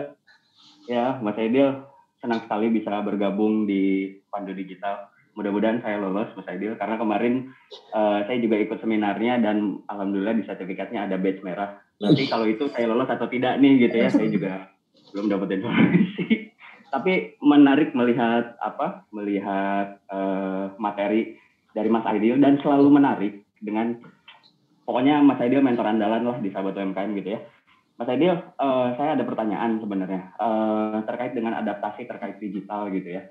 Um, ada ada batasan nggak sih Mas Aidil uh, bagaimana kita memberikan informasi digital kepada uh, apa generasi sebelum kita gitu kan? Karena mereka juga punya paradigma-paradigma yang sebenarnya masih masih kalau kita bilang uh, un, un, unquote itu kolot gitu ya Hmm. Nah itu itu ada batasannya nggak sih sehingga kita tidak dicap sebagai orang yang so tahu nih atau hmm. apa nih gitu kan? Nah itu yang pertama. Terus yang kedua efektifnya seperti apa Mas Aidil? Karena yang Mas Aidil ketahui juga kalau saya kan ketemu sama pelaku usaha yang notabene adalah uh, para generasi sebelum kita kebanyakan gitu yeah. ya. Yeah. Itu uh, efektif seperti apa? Itu aja Mas Aidil. Terima kasih banyak waktunya. Terima kasih banyak Terima kasih Mas Gali. Monggo Mas Aidil. Aduh awalnya ini sepertinya luar biasa ya udah kenal lama sekali. bener ya. ya Mas Gali. Iseng, isengnya kebangetan. Nah, baik silakan Mas Aidil. Baik, Mas Gali izin saya jawab dan nanti juga izin saya jawab bahwa Uh, saya setuju, Mbak. Uh, ada ada gap ada gap generasi yang ternyata perlu coba untuk kita batasi nih penyampaiannya sampai mana. Makanya kebanyakan nih Mas Gali yang memang saya temuin entah itu dari generasi yang tadi dikatakan kalau tetap bahkan dewasa sampai generasi-generasi muda ini perlu untuk bersabar terlebih dahulu. Sebenarnya kunci-kunci utamanya itu karena ada banyak hal atau bahkan konflik-konflik yang terjadi karena dari yang gap atas atau bahkan yang bawah ini sama-sama pengen didengar sama-sama pengen didengar. Ini suara saya itu seperti ini, kamu harus ngikutin maunya saya, atau bahkan yang baru-baru, Pak, ini tuh nggak bisa, kalau pakai digital tuh harusnya seperti ini. Nah, hal-hal ini biasanya kita, kalau saya pribadi, uh, bareng sama sahabat MKM, ini kami tuh menunjukkan dengan contoh. Jadi kami menunjukkan dengan uh, bagaimana ternyata ada ada ada output output oh ternyata ini loh manfaatnya menggunakan digital ke generasi-generasi yang lebih dewasa misalnya seperti itu. Tapi saat memang ada pertentangan di sana saat memang ternyata ada ada diskusi yang cukup alot di sana kita cukup untuk menjadi pendengar yang baik terlebih dahulu dan akhirnya bisa kita diskusikan bersama. Nah hal-hal itu yang memang perlahan saya saya nggak bisa bilang itu sesuatu yang instan. Dan Mas Gali sendiri tahu betapa lelahnya, betapa capeknya. Dan saya pribadi terima kasih banyak. Saya juga mewakili sahabat UMKM sebagai trainer buat teman-teman sahabat UMKM memang sedang keliling lagi touring ke seluruh Indonesia untuk bisa berbagi banyak hal tentang uh, peningkatan kapabilitas, peningkatan level dari UMKM. Nah, hal-hal ini yang memang perlu dimiliki. um, makanya ini saya sebenarnya nggak sabar banget untuk uh, Tati karena skill mendengar ini itu adalah menjadi dasar kita untuk memahami bahwa oh di generasi sebelumnya itu tuh ada poin-poin penting yang perlu generasi muda itu punya pengalaman-pengalaman, relasi-relasi, dan yang anak-anak muda ini punya adalah semangat, ide-ide baru, gimana caranya mereka menyukai perbedaan, mereka bisa coba untuk menciptakan inovasi-inovasi yang biasanya juga nggak kepikiran sama yang dewasa. Makanya harapan kami bersama adalah di kegiatan hari ini rekan-rekan semua bisa saling mendengar hingga akhirnya berkolaborasi untuk menciptakan inovasi. Mungkin seperti itu Mas Gali. Nanti kita WA-an lagi. Baik, um, waduh, makin banyak sebenarnya yang mau bertanya ya. Saya akan uh, sebelum Mas Suryanto dari Gradasi Sumur, saya mau mengkoordinir dulu yang di kolom chat. Um, saya setuju dengan quote always deliver more than expected. Tapi seberapa jauh kita boleh going for that extra miles? Berhubung banyak juga yang justru memanfaatkan dedikasi ekstra kita itu. Ini dari Bapak David Dwi Putranto. Monggo Mas, ideal nggak rela okay. gitu kalau udah kata kalau orang Jawa bilang dikasih hati ngerogoh jantung gitu. Dan ini sering sekali terjadi ya sebenarnya. Oh sering pengalaman pribadi ya Mas Aidin. Sering sekali terjadi, tapi uh, jujur kalau berbicara tentang deliver more than expected ini uh, adalah saat di mana saat di mana rekan-rekan semua sedang memulai uh, memberikan sesuatu, membuktikan sesuatu. Kenapa juga tadi saya sampaikan? Karena rekan-rekan semua di sini kan sedang memulai karir barunya sebagai seorang pandu digital. Bagaimana ternyata teman-teman semua bisa coba untuk mm, membagikan ilmu-ilmunya, wawasan-wawasannya. Dan yang penting untuk hal-hal ini adalah beginner's mind. Saya saya mau menyampaikan beginner's mind saat memang saya pertama kali menjadi seorang dosen, saat memang saya pertama kali menjadi seorang trainer, saat menjadi pertama kali sebagai seorang pandu digital, saat pertama kali menjadi uh, fasilitator yang ketemu dengan banyak sekali UMKM, deg-degan itu masih ada. Ih, deg-degan banget. Deg-degan apa? Bukan deg-degan takut, tapi deg-degan excited. Kira-kira apa sih yang memang bisa saya berikan? Kira-kira apakah ternyata ada manfaat, ada manfaat lebih yang memang bisa dirasakan oleh audiens-audiensnya saya? Hal itu ya memang perlu untuk dijaga. Hal itu memang perlu untuk dijaga. Jadi bukan berarti ternyata teman-teman semua merelakan hidupnya gitu ya. Oh saya kasih semuanya enggak. Tapi tadi dari beginners mind teman-teman semua coba untuk jaga api semangatnya gitu. Kira-kira kalau memang orang jatuh cinta tuh kayak deg-degan pertama kali kalau emang ketemu sama doi ya teman-teman semua ketemu sama pasangan kalau tiap hari ketemu tuh deg-degannya masih ada aja terus. Nah itu sebenarnya yang memang perlu coba untuk uh, teman-teman semua jaga ya. Karena dengan ada deg-degannya itu kita berani untuk bisa memberikan hal terbaik versinya kita. Bukan berarti semuanya diberikan tapi hal terbaik yang memang bisa kita lakukan. Gitu loh. Jadi teman-teman semua tetap juga perlu tahu batasan kapan istirahat. Teman-teman semua perlu tahu kapan batasannya uh, untuk bisa memberikan hal-hal yang bisa di pending. Nah itu kan nanti ada ada lagi nih TOT-nya tentang productivity. Kita ngomongin masalah Parkinson Law, tapi itu nanti ini panjang banget nanti kalau dibahas. Mungkin itu Harus dulu. dapat badge merah dulu ya. Iya, badge merah dulu. Lulus dulu hari ini ya. Oke, jadi itu Mas David. Jadi ternyata harus ada keselarasan antara hati dan juga kemampuan diri. Jadi sama-sama tahu ya Mas uh, ideal and it's okay to stop when you don't feel comfortable anymore. Yeah. Ketika sudah tidak nyaman, kita tidak apa-apa untuk say no. Yes. Sebenarnya itu ya tahu batasan diri. Oke, okay, kita berlanjut. Ini sudah menunggu dari tadi. Resha mama sekali. Ini adalah Pak Suryanto dari Gradasi Sumut. Mungkin operator boleh membantu Pak Suryanto untuk menyampaikan langsung ke Mas Aidil. Halo. Halo Pak Suryanto. Halo, selamat pagi Pak Suryanto. Halo, selamat pagi Mas Aidil. Pagi Pak Suryanto. Uh, luar biasa ya. Saya baru kali ini pembicara yang luar biasa, smart gitu lah saya bilang ya, cerdas sekali. uh, saya dari gradasi Sumut sebetulnya bukan bukan yang lama, tetapi masih baru. Ceritanya gini, kemarin itu saya bertemu dengan pengurus gradasi Sumut yang meminta kami beberapa uh, yang concern di bidang digital di Sumatera Utara itu untuk mengikuti uh, pandu digital ini. Jadi saya saya coba uh, searching di Kemenkominfo, baru saya daftar. Saya daftar ada beberapa seminar nggak tahu hanya dapat balasan email yang seminar hari ini gitu. Jadi hmm. maka saya coba tadi ikut dan saya gabung, hmm. alhamdulillah bisa masuk. Dan saya bersyukur bisa gabung dengan uh, uh, pada hari ini gitu. Nah, pertanyaan saya begini. Seandainya nanti misalnya saya atau teman-teman yang lulus, karena saya juga masih baru, nggak tahu nanti gimana terus prospeknya. Sebagai seorang pandu digital, tadi ada di materi uh, Coach Aidel bahwa sumber informasi itu kan mudah sekali didapat. Sebagai seorang pandu digital, kita harus uh, di situ tadi ada materi mengidentifikasi, uh, mengevaluasi, satu lagi uh, observasi ya gitu. Ya. Nah ini yang jadi masalah kan seperti yang Coach Aidel tadi bilang bahwa di dunia maya ini uh, banyak sekali informasi yang selalu kita dapat bahkan mungkin yang dalam kata tanda kutip tadi yang kata-katanya kurang etis gitu. Hmm. Nah sebagai seorang pandu digital apa yang harus kita lakukan bila menjumpai konten yang nadanya kurang bagus secara etika gitu. Apakah kita uh, memberikan edukasi atau kita hanya mendengar saja karena memang teknik mendengar ini adalah salah teknik untuk bisa mempengaruhi orang lain ketika kita misalnya komunikasi secara langsung. Tetapi ketika komunikasi secara digital ini kan nggak mungkin kita mendengar gitu, Mas Aidil ya. Betul, setuju. Itu maksud pertanyaan saya bisa ditangkap ya Pak Aidil ya? Bisa banget bisa banget. Oke oke gitu. Makasih Pak Adil. Oke, terima kasih banyak saya. Terima kasih Pak Suranto. Terima kasih banyak. Nah, pertanyaannya adalah bagaimana cara kita merespon? sebagai pandu digital, jangan lupa bagaimana caranya merespon digital. sebagai pandu digital. Merespon sebagai seorang pandu digital yang tadi punya representatif, punya jubah baru yang ternyata diyakini punya kredibilitas lebih. Selamat IoT, selamat IoT. Uh, ini mohon maaf saya juga tadi lupa karena ada satu slide yang memang saya kurangin karena ngelihat batasan waktu. Tapi gini, Pak Suryanto, kita selain tadi mendengarkan, saya pun punya bahasan tentang yang namanya berkomunikasi asertif.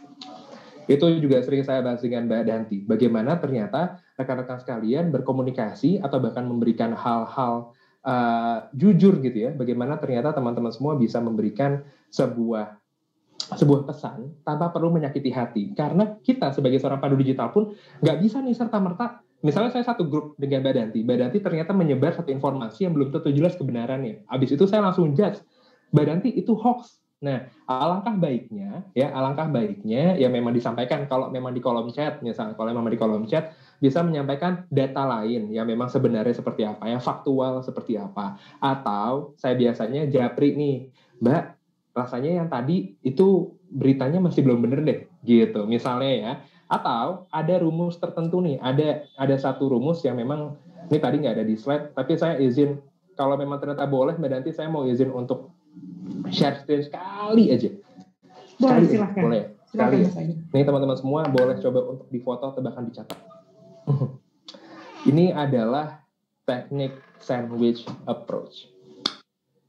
Sandwich approach, di mana rekan-rekan semua saat memang memberikan respon, ya kita nggak bisa tiba-tiba langsung mengkritik atau bahkan tiba-tiba langsung memberikan pesan yang menjatuhkan ya. Tapi bisa memberikan komplimen dulu. Sandwich itu seperti burger ya jatuhnya ada roti ada isi ada rotinya lagi. Jadi ada hal-hal positif dulu yang coba untuk diangkat ya setelah itu kita coba untuk memberikan masukan alangkah baiknya seperti itu tidak perlu untuk di share dan seterusnya. Sampai akhirnya dikasih tahu lagi di belakang. Nah ini saya coba untuk memberikan uh, contohnya ya. Kalau emang ternyata penampilan teman-teman semua sebagai sarung pandu digital ih keren banget nih. Di sini ada Bu uh, Anjani.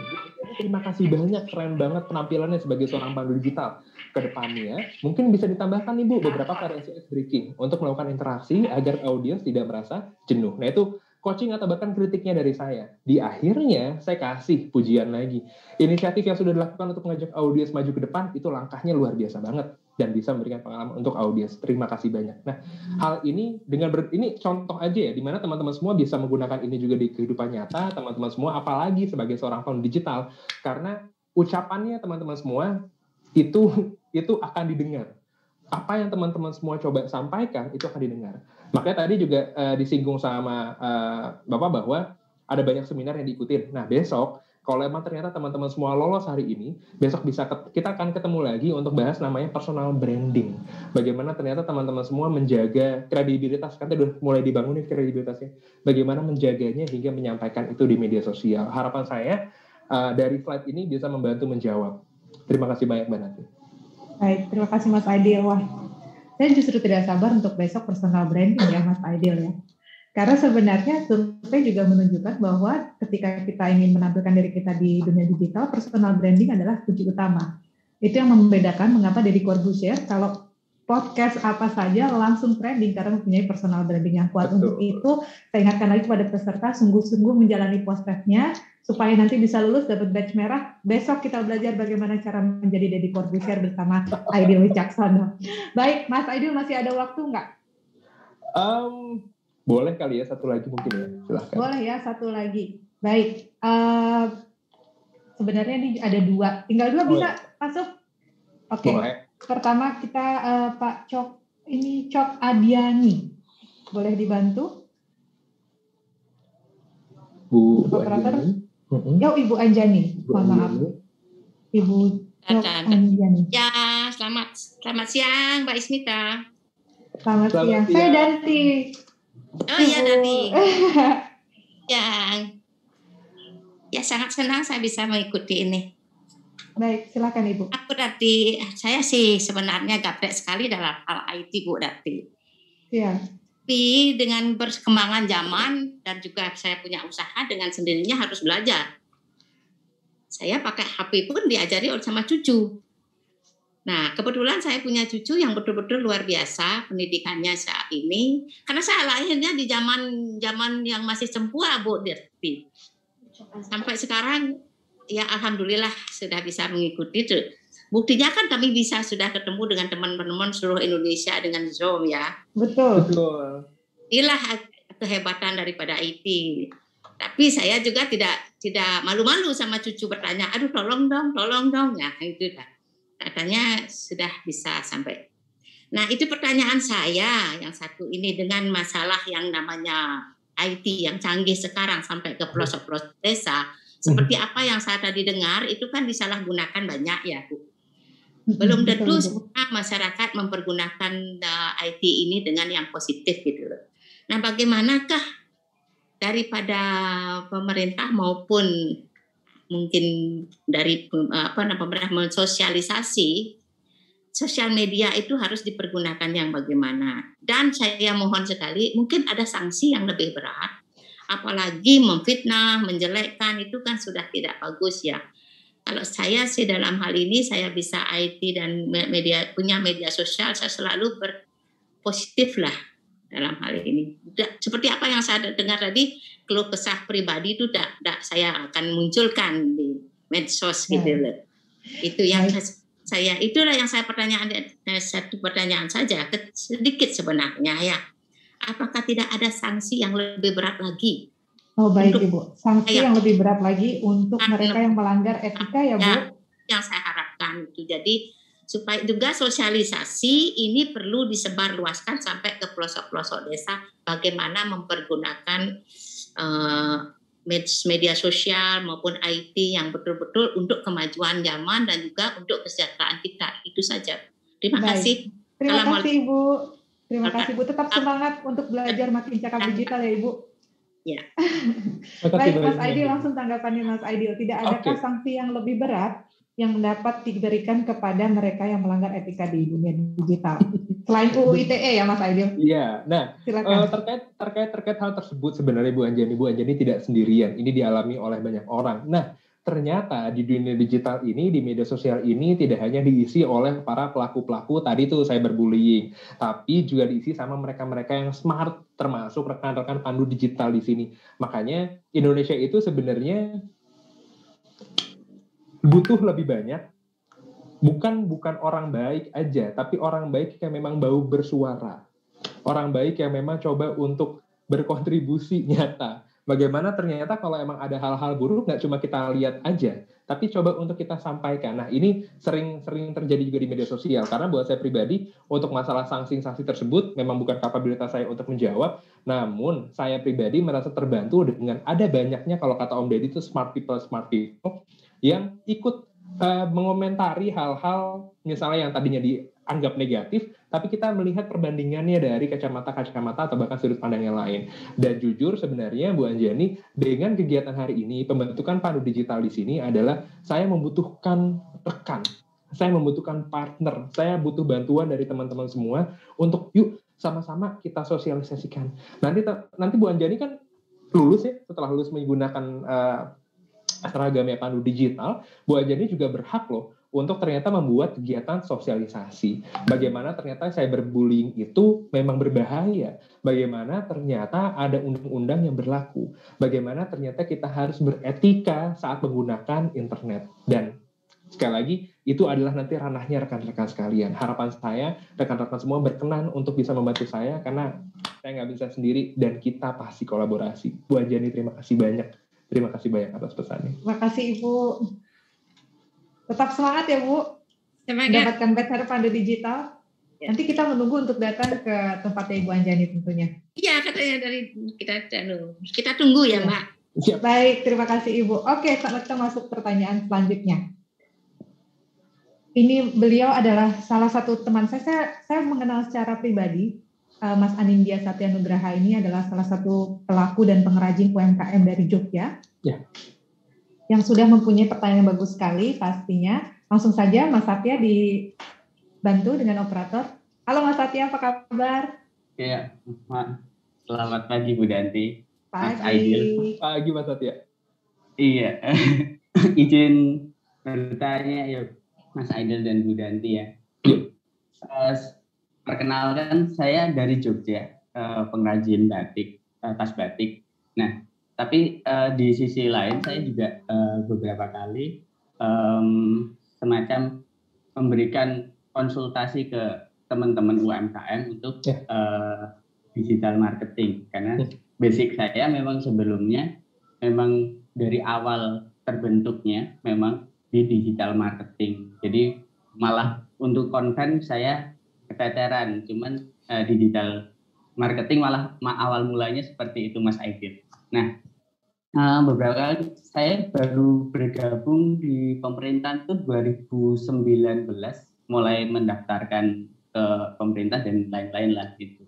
Nah, eh, di sini beberapa kali saya em, diminta untuk sharing karena eh, kit- apa saya belum punya sertifikat apa pun ya untuk digital marketing cuman untuk belajar belajar digital marketing beberapa kali eh, kelas kelas-kelas offline dan online. Nah, em, permasalahan yang saya sering saya temui Mas Aidil kalau kita itu beberapa kali memberikan eh, sharing tentang digital marketing, bayangan pertama itu mesti stigmanya seperti eh, kalau kita upload di media sosial itu semua orang pasti lihat, semua orang pasti lihat. Bayangannya tuh melebihi ekspektasi yang kita aja kalau kita uh, upload itu ada caranya uh, dan sebagainya. Nah, kalau uh, teman-teman UMKM biasanya berpikiran stigmanya tuh masih banyak yang kita upload supaya seluruh dunia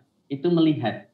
Nah, akhirnya ketika kita pemaparan materi seperti ini, seperti ini, tahap-tahapnya seperti ini, mereka itu down karena, aduh aku ini aja nggak ngerti, nanti harus belajar ini, nanti belajar ini lagi. Nah, itu di tengah jalan banyak sekali orang yang, Mas, kamu jualannya pakai apa? Ini, oke aku mau belajar, udah belajar. Setelah belajar di tengah-tengah, tahu-tahu cabut Mas Aidil. Jadi biasanya setelah Nggak belajar tuntas ya Mas? Iya betul Bu, Eh, karena eh, ki- kita membuka untuk umum sih sebenarnya di kita toko, cuman berbentuk rumah ya, masih masih home industry banget. Jadi eh, biasanya orang yang datang itu nggak bertahan sampai satu bulan lah.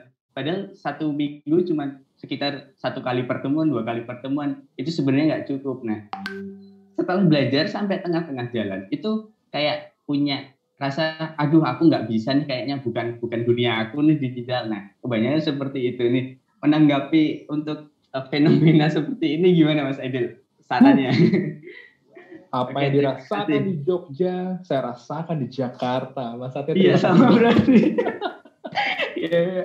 Iya. oke oke Iya, Iya, Mas Satya, mari. saya, saya memahami sekali. Berarti izin langsung saya jawab. Monggo.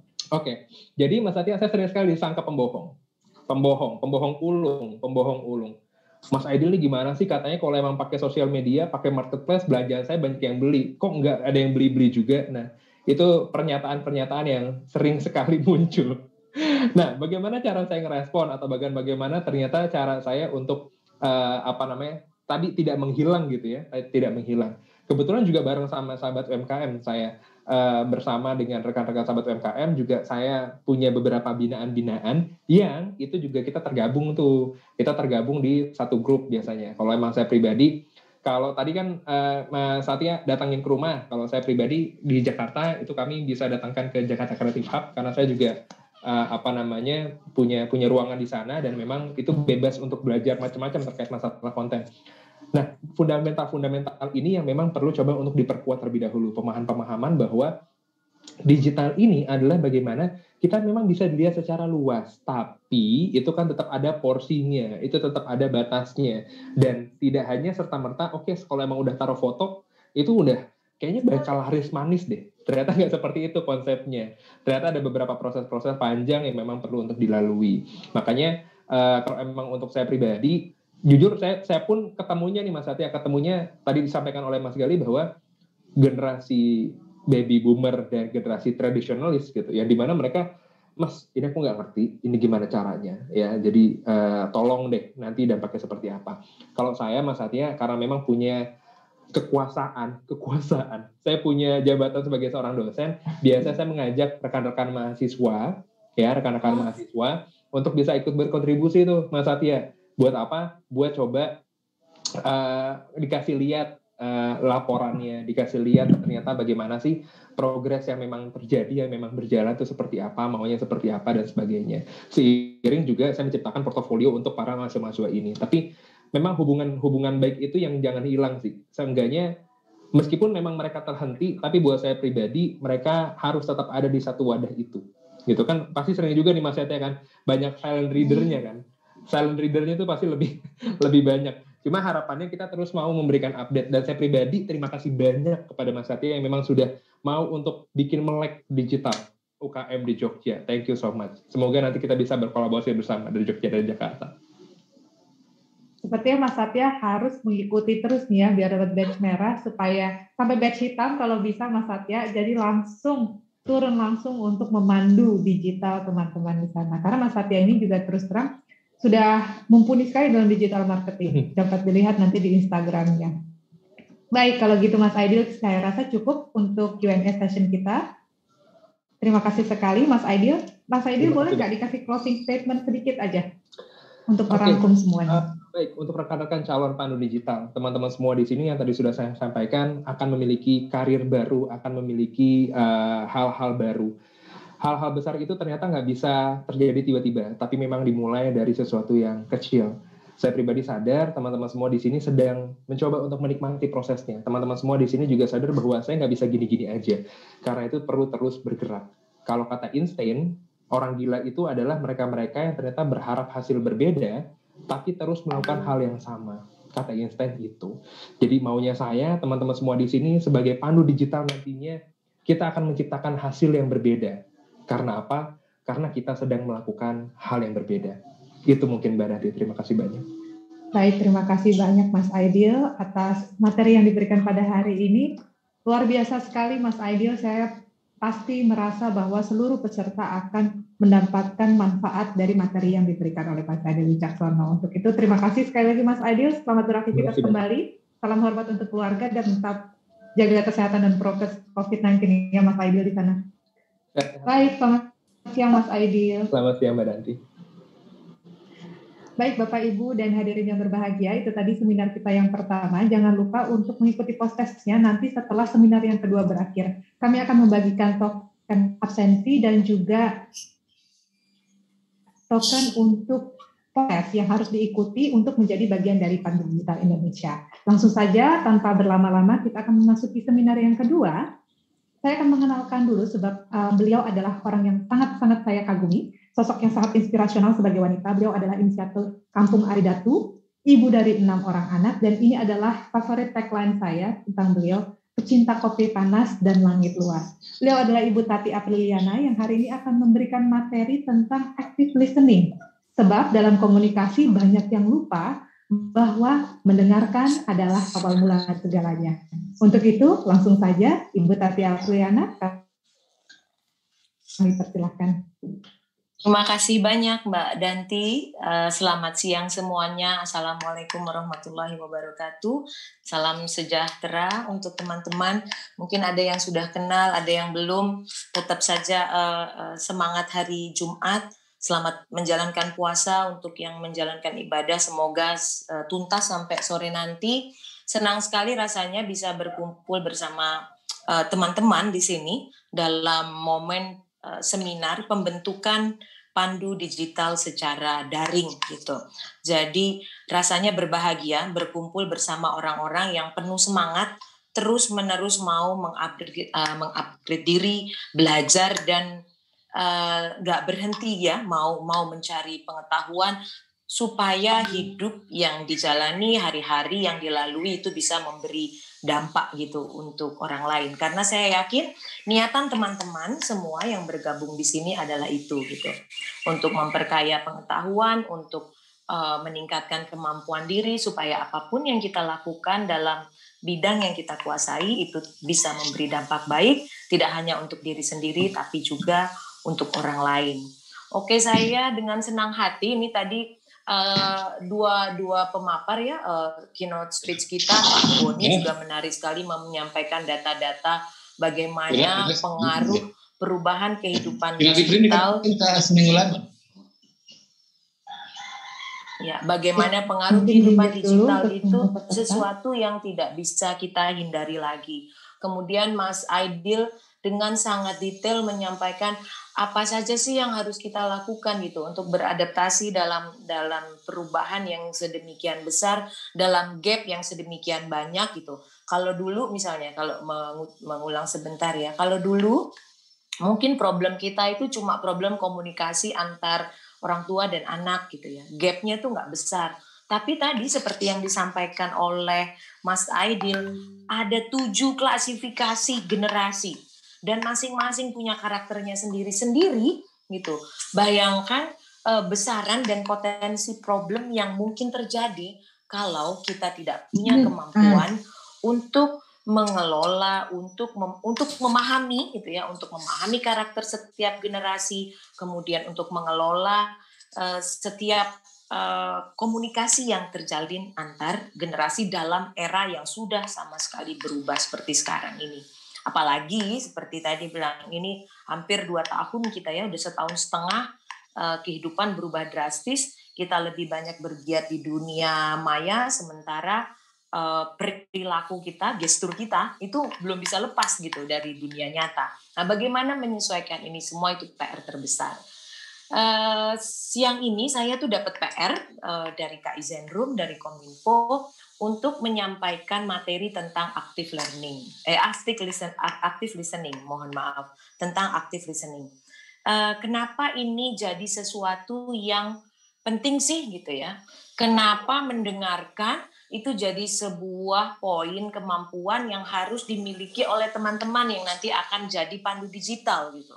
Tadi uh, seorang penanya bilang kan beda mas gitu ya. Eh, yang dari Medan tadi kalau nggak salah saya dari gradasi Medan bertanya beda situasinya ketika kita mendengarkan secara langsung dengan mendengarkan di dunia digital. Kita kan nggak mendengar di dunia digital gitu. Eh jangan salah gitu. Mendengar kadang uh, dalam arti harafiah memang semata-mata uh, menggunakan kemampuan telinga ketika ada informasi yang masuk tapi dalam dunia digital, mendengar itu juga mendengarkan diri sendiri. Ketika kita membaca sesuatu, itu kan ada suara di kepala ya. Ada suara di kepala yang mesti kita dengarkan dan mesti kita respon dengan baik.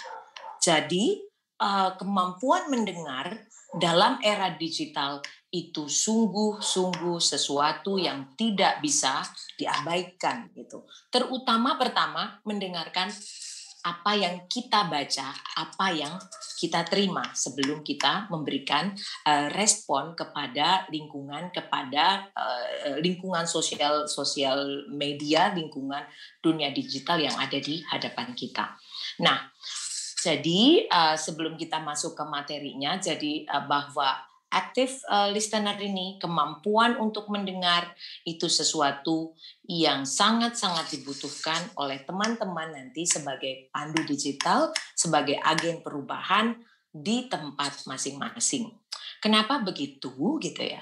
Karena karena begini, kegiatan-kegiatan teman-teman pandu digital nantinya itu kan tidak hanya bersifat uh, uh, digital, tidak hanya berlangsung di dunia maya, tapi literasi yang dilakukan itu pasti akan bersinggungan secara nyata.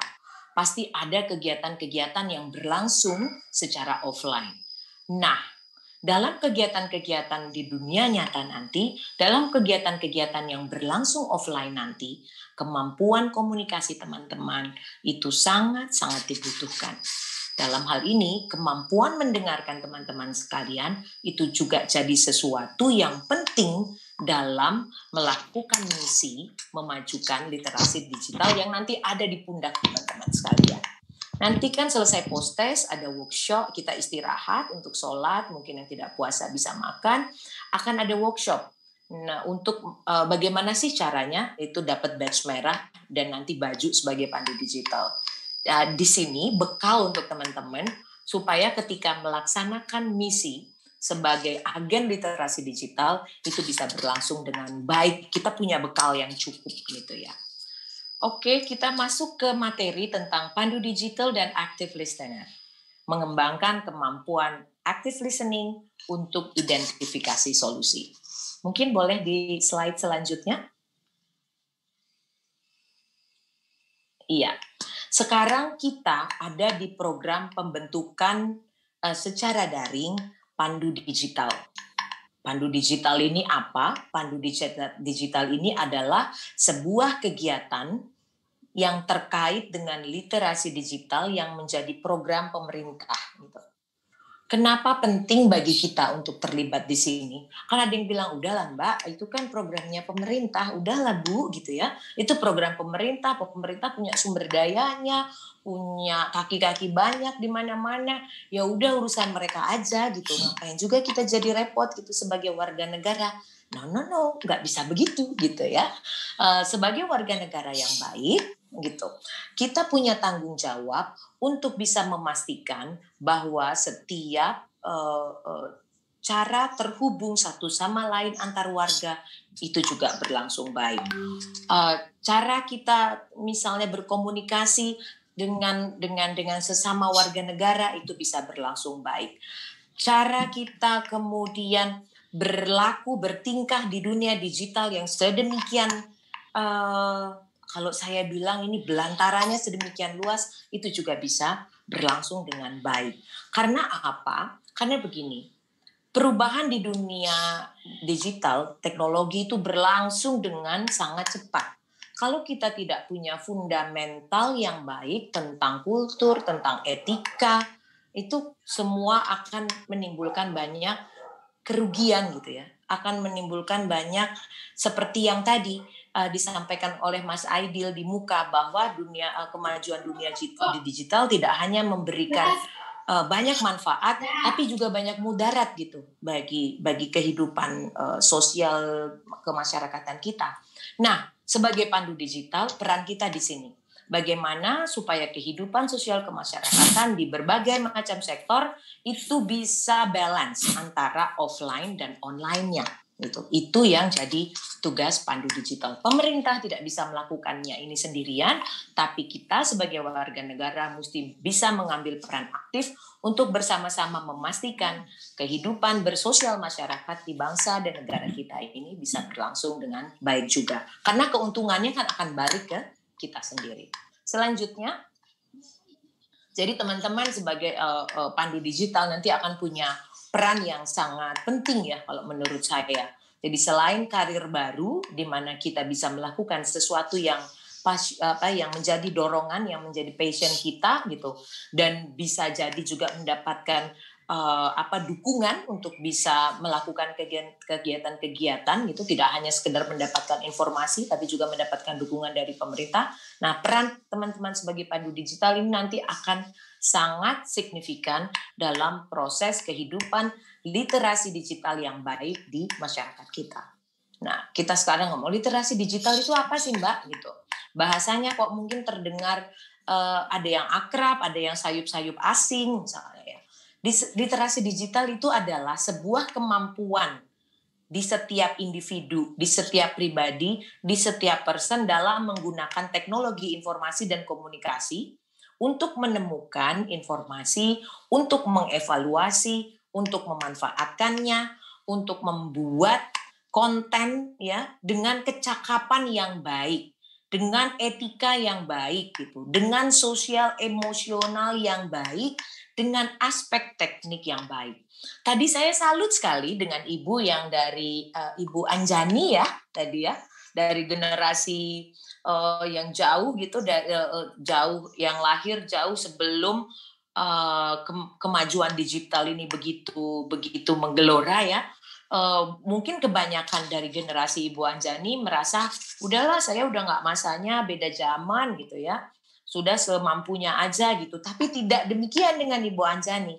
Ibu Anjani sangat-sangat melek literasi digital.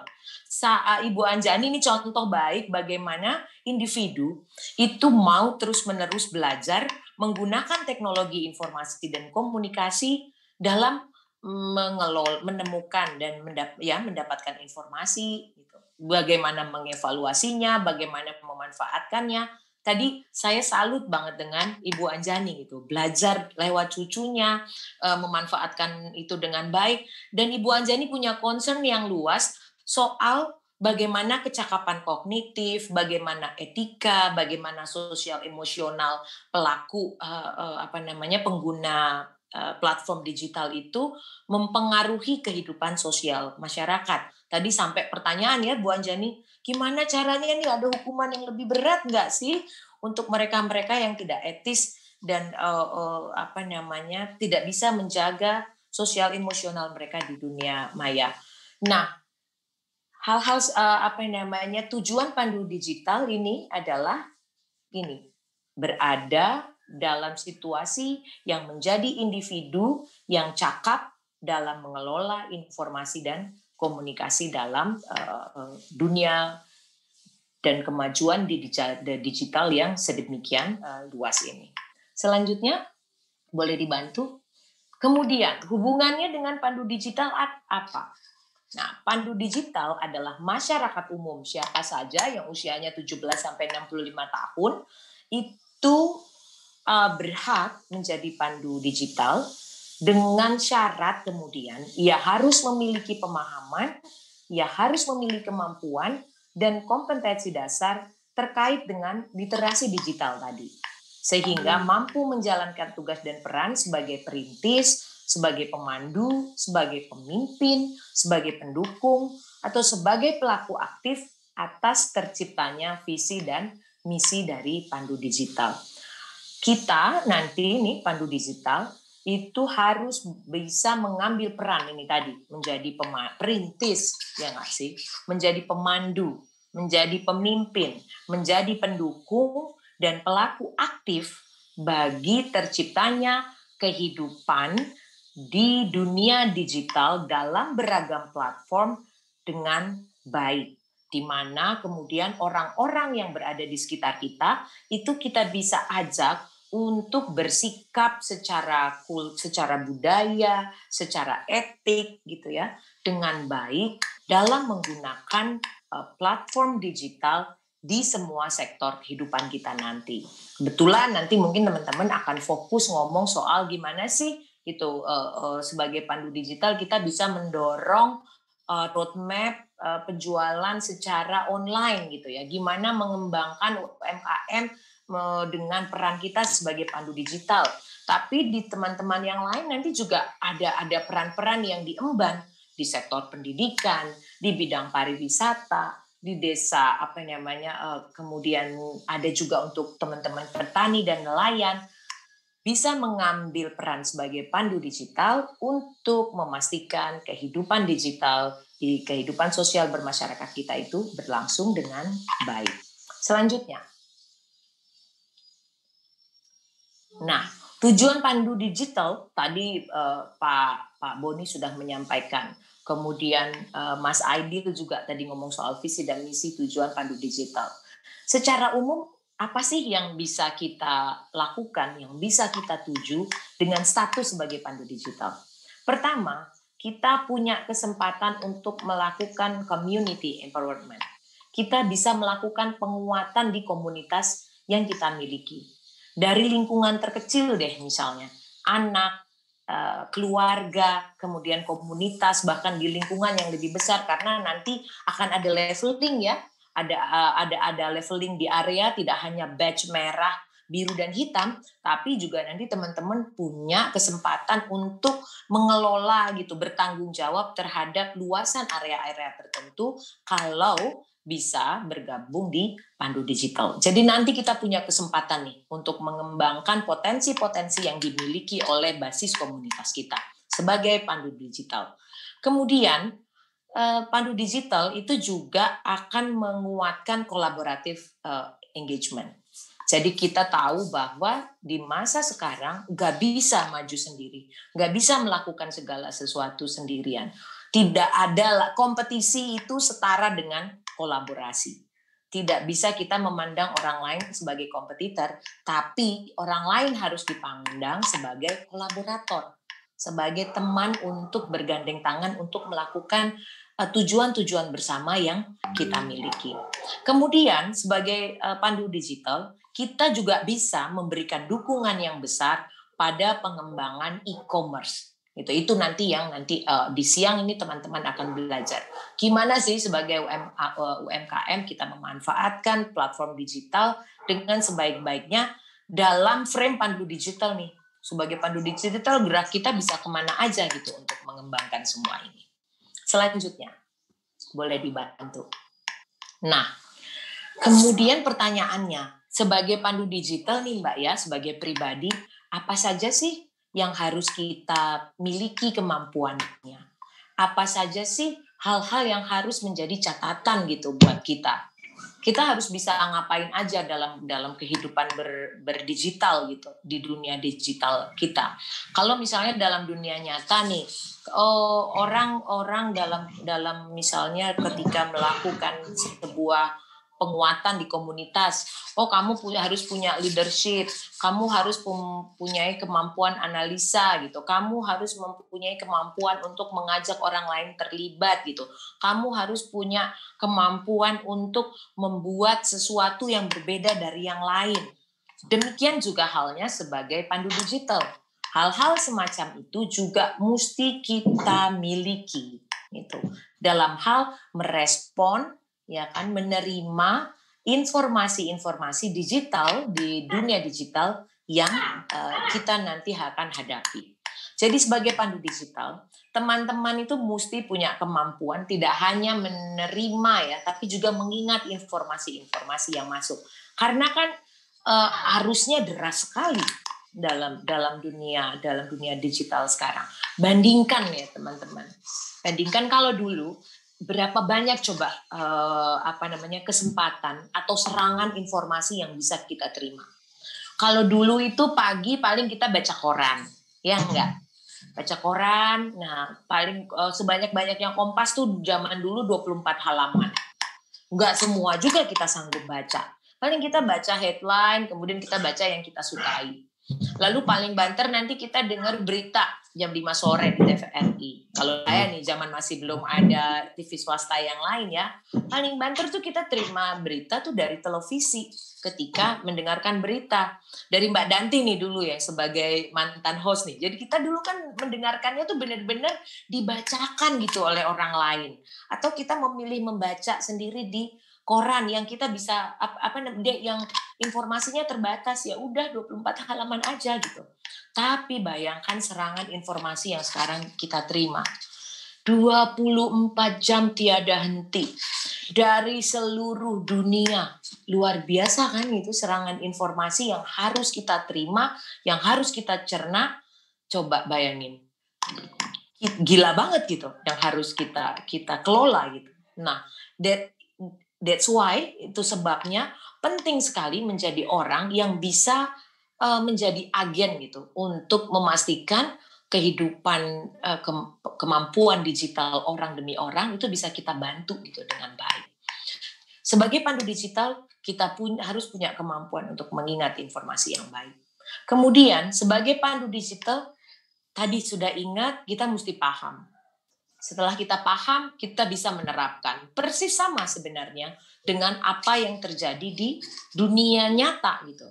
Jadi sebenarnya apa yang terjadi di dunia digital dan apa yang terjadi di dunia uh, sebenarnya di dunia fisik gitu itu sama bedanya bedanya nih ya menurut saya secara fisik kita tidak bisa bersentuhan saja secara langsung tapi interaksinya impactnya itu semua berlangsung sama gitu bahkan kadang bisa lebih sadis misalnya ya misalnya kita berantem nih sama temen bertengkar gitu ya bertengkar agak dengan nada tinggi respon kita, reaksi kita, kemarahan kita itu bisa kita ukur berdasarkan stimulus yang diberikan oleh lawan bicara. Betul begitu ya? Misalnya nih, saya dikatain teman saya, ah, nggak keren kamu tadi, kamu nggak bertanggung jawab gitu. Dengan nada begini, saya bisa jawab. Misalnya dengan nada leveling tone yang begitu, saya bisa bilang, eh kamu jangan sembarangan ya ngomong saya tidak bertanggung jawab. Alasannya apa gitu? Ini dalam rangka mau bertengkar nih tapi bayangin kalau yang terjadi di sosial media dengan kalimat yang sama. Jadi kan kita mendengarkan kalimat kita sendiri, kalimat orang lain yang kita bacakan sendiri gitu kan. Ketika seseorang menulis dasar kamu tati gak keren, gak bertanggung jawab, si penulis gitu menuliskan dengan tone segini. Tapi kita menambahkan tonnya misalnya gitu kan. Menambahkan tonnya dengan dengan dengan apa namanya dua satu atau dua level lebih tinggi sakit hatinya itu sakitan hati yang mana coba dikatain langsung atau dikatain lewat tulisan misalnya sering kali bahasa tulisan yang kita dengarkan balik untuk diri kita sendiri itu memberi respon eh memberi impact yang jauh lebih buruk daripada ketika kita mengalaminya langsung kita punya pilihan untuk membuat mengabaikannya memang tapi sering kali tidak semua orang punya kemampuan mendengarkan yang baik sehingga bisa memberi respon dengan baik pula. Nah, sebagai pandu digital selanjutnya, kita harus punya kemampuan menganalisa informasi yang tadi kita ingat, kita pahami, dan juga mampu mengevaluasinya gitu. Jadi kayak misalnya gini, uh, Mbak, ini saya kan pegiat UMKM nih Mbak, gitu. ada aturan baru terkait dengan misalnya apa, misalnya nih ya, apa saja yang bisa dijual. Ini ini saya kasih bocoran nih. Apa saja yang bisa dijual di platform tertentu gitu. Karena ada mungkin kemarin-kemarin kalau teman-teman yang bergiat di UMKM uh, sempat uh, ada uh, viral salah satu platform itu diprotes karena barang-barang uh, yang dijual di platform uh, berjualan itu mematikan UMKM lokal gitu ya kan? Mem mem uh, mematikan UMKM lokal. Lalu kita bersatu nih protes kita kan protes uh, gimana nih kita gimana mau jualan sepatu gitu. Kalau sepatu lokal kalau sepatu lokal harga produksinya paling murah 300 ribu sementara di platform belanja itu mereka bisa jual 80 ribu gitu kan. Ini ini justru uh, e-commerce mematikan UMKM lokal gitu misalnya. Nah sebagai pandu digital itu kita bisa harus bisa mengambil peran nih melihat situasi demikian menganalisanya, membuat evaluasi supaya bagaimana apa yang harus kita lakukan untuk misalnya menyelamatkan uh, jalannya usaha-usaha eh, UMKM kita di tengah situasi e-commerce yang demikian. Masuk ke poin sebagai pandai digital, kita mesti bisa creating point of view, creating uh, produk gitu setelah mendapatkan uh, tiga tahapan dari uh, apa yang tadi saya sampaikan tadi informasinya, memahaminya, menerapkannya, menganalisa, mengevaluasi. Kalau tadi contohnya, saya nggak berani sebut merek sih, takut nanti kena ITE, tapi sempat rame banget harusnya ya, mungkin kalau di teman-teman UMKM beberapa waktu lalu ada salah satu platform uh, apa namanya belanja, platform uh, platform belanja yang diprotes gitu oleh UMKM dan kita sudah audiensi juga ke pemerintah nih. Jadi kalau ada yang bilang wah pemerintah nggak peduli sama sekali sama sama UMKM itu nggak nggak nggak sepenuhnya benar gitu ya. uh, kita dengan beberapa perwakilan teman-teman UMKM sudah sudah beraudiensi dengan Bapak Menteri Koperasi dan UMKM uh, difasilitasi oleh staf khususnya gitu dan beliau sudah meminta list apa saja nih teman-teman UMKM yang perlu diberi perlindungan di platform jual beli online. Nah, ini menarik sekali kan gitu. Mungkin ya betul ada banyak catatan gitu dari dari kinerja pemerintah yang mesti perlu diperbaiki, yang perlu kita dorong, tapi ada banyak hal juga yang dilakukan gitu untuk memastikan semua kegiatan yang dilakukan oleh warga negara itu ber, berlangsung baik gitu. Oke, selanjutnya. Nah, balik sebagai panel kita harus punya kemampuan tadi ya Pak. Beberapa hal tadi. Memahami informasi eh, mengingat memahami menganalisa lalu creating point dan uh, produk gitu. Uh, produk itu tidak harus dalam bentuk benda ya. Tidak harus uh, tapi juga kegiatan itu adalah uh, produk dari Pandu Digital. Nah untuk bisa sampai menjalankan tahapan-tahapan tadi dengan baik ini adalah hal-hal yang harus kita lakukan gitu. sebagai pandu digital. Nggak bisa nih, nggak bisa keempat poin ini itu kita tinggalkan gitu. Oh enggak mbak gitu, saya mau dengerin aja terus langsung bicara gitu eh, di, di literasi. Saya nggak mau repot baca, saya nggak mau repot menulis. Uh, nggak bisa teman-teman sekalian gitu. Untuk menjadi pandu digital yang bisa punya peran dan memberi dampak yang besar, keempat alur ini harus kita lakukan dengan sebaik-baiknya. Gimana kita mau mendapatkan informasi kalau kita nggak baca? Bagaimana kita bisa memahami dengan baik kalau kita tidak punya kemampuan atau kebiasaan menuliskan ulang apa yang kita ketahui? Bagaimana kita bisa kemudian um, apa namanya mendapatkan informasi yang lebih banyak dari sudut pandang orang lain ketika kita tidak bisa uh, tidak mempunyai kemampuan mendengarkan. Lalu bagaimana kita bisa menyampaikan apa yang menjadi concern kita, apa yang menjadi value, apa yang menjadi tujuan ketika kita tidak bisa menyampaikannya dengan baik. Nah, ini nanti seharusnya nih kalau di teman-teman jadi pandu digital hal-hal terkait dengan peningkatan kapasitas menulis, membaca, berbicara, dan mendengarkan itu kita akan dapatkan lewat program-program yang dimiliki oleh Kominfo bekerja sama dengan Kaizen Room. Gitu ya Mbak Danti ya? Gitu. Jadi jangan di, Mbak Danti serius banget nih wajahnya nih. saya sambil mencatat nih. Banyak-banyak okay. saya mencatat.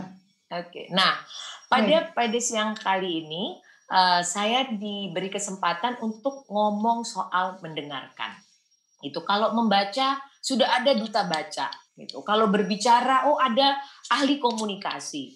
Kalau menulis ada kelas workshop yang banyak sekali tentang menulis.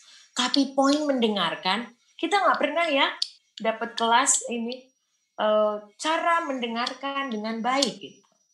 Padahal ini adalah sesuatu yang sangat fundamental itu dalam pengembangan diri tidak hanya sebagai pandu digital tapi dalam kehidupan kita secara keseluruhan. Gitu. Tidak hanya soal jadi kita tidak hanya uh, mesti apa namanya jago ngomong, uh, tahan membaca, pandai menuliskan apa yang ada di pikiran kita gitu. Tapi juga mesti punya kemampuan mendengarkan. Ini sesuatu yang sangat fundamental dan sering kali ini adalah kelemahan di sebagian besar masyarakat kita. Saya kasih contoh sederhana misalnya gini ya kita makan di restoran gitu order makanan. Terus uh, seberapa banyak dari teman-teman yang meminta waitersnya untuk membacakan ulang apa yang kita pesan? Karena sering kali uh, banyak banget ada yang miss gitu. Kenapa bisa miss? Karena si waiters tidak mendengarkan dengan baik. Misalnya ya, saya pesan, saya mau gado-gado nggak pakai kol, cabenya banyak. Gitu kalau waitersnya mendengarkan dengan baik itu catatan pasti dia mencatat kan nih kemampuan menulisnya dia pergunakan gitu kemampuan mendengar lalu dituliskan tapi sering kali orang kita itu abai dia dia dia pikir dia sudah dengar tapi sebenarnya dia belum mendengarkan dia hanya mendengar tapi tidak mendengarkan. Ini sesuatu yang sangat berbeda. Sering nggak mengalami pengalaman begitu gitu? Order apa yang datang apa? Itu problemnya di mana? Bukan di soal kemampuan menangkap, tapi problem utamanya adalah di mendengarkan. Kita tidak dibiasakan untuk mendengarkan dengan baik. Mungkin kita sering dimarah sama ibu bapak, dengerin makanya. Tapi kan eh, apa namanya pesan untuk mendengar itu konteksnya ketika sedang dimarahin atau ketika sedang diajarin gitu oleh guru. Bukan dalam kehidupan sehari-hari gitu, dalam perkara-perkara yang casual. Sementara nanti nih sebagai pandu digital sering kali kita akan terlibat dalam perkara-perkara yang casual. Maka kemampuan mendengarkan itu sesuatu yang menjadi syarat mutlak, menjadi sesuatu yang sangat fundamental. Selanjutnya, boleh dibantu. Nah, tadi saya ada ada yang bersangat berbeda antara mendengar dan mendengarkan. Kalau mendengar, itu kita menangkap suara-suara lewat indera pendengaran kita, lewat telinga. Itu saya mendengar suara kicauan burung, saya mendengar gonggongan an, apa anjing, saya mendengar ibu saya mengomel, gitu ya. Saya mendengar anak saya menangis, saya mendengar uh, suami saya bicara panjang lebar, saya mendengar murid saya. Saya mendengar jamaah saya, misalnya kalau dia ustadz. Tapi ada yang berbeda secara fundamental antara mendengar dengan mendengarkan. Kalau mendengar tadi menangkap suara-suara lewat organ telinga, tapi kalau mendengarkan adalah mendengar dengan sungguh-sungguh, dengan memperhatikan, dengan mengindahkan. Itu menurut Kamus Besar Bahasa Indonesia. Jadi sama sekali berbeda antara mendengar dengan mendengarkan. Kalau mendengar itu eh, banyakkan pasifnya gitu ya. Ada sesuatu stimulus datang dari luar, kita terima nih di organ pendengaran. Tapi kalau mendengarkan, kita mendorong diri kita secara aktif. Kita meletakkan upaya untuk kemudian melangkah lebih jauh menggunakan organ kita, organ telinga kita secara sungguh-sungguh untuk memperhatikan, mengindahkan suara-suara, mengindahkan kata-kata, mengindahkan kalimat-kalimat, eh, memperhatikan eh, apa namanya informasi-informasi yang sampai ke telinga kita. Sebuah kegiatan yang nampaknya pasif, tetapi sesungguhnya membutuhkan keaktifan. Kenapa aktif? Karena kita meletakkan upaya lebih dalam menggunakan organ pendengaran kita. Jadi teman-teman bedakan antara mendengar dan mendengarkan. Mendengar hanya semata-mata dalam tanda petik menggunakan organ pendengaran.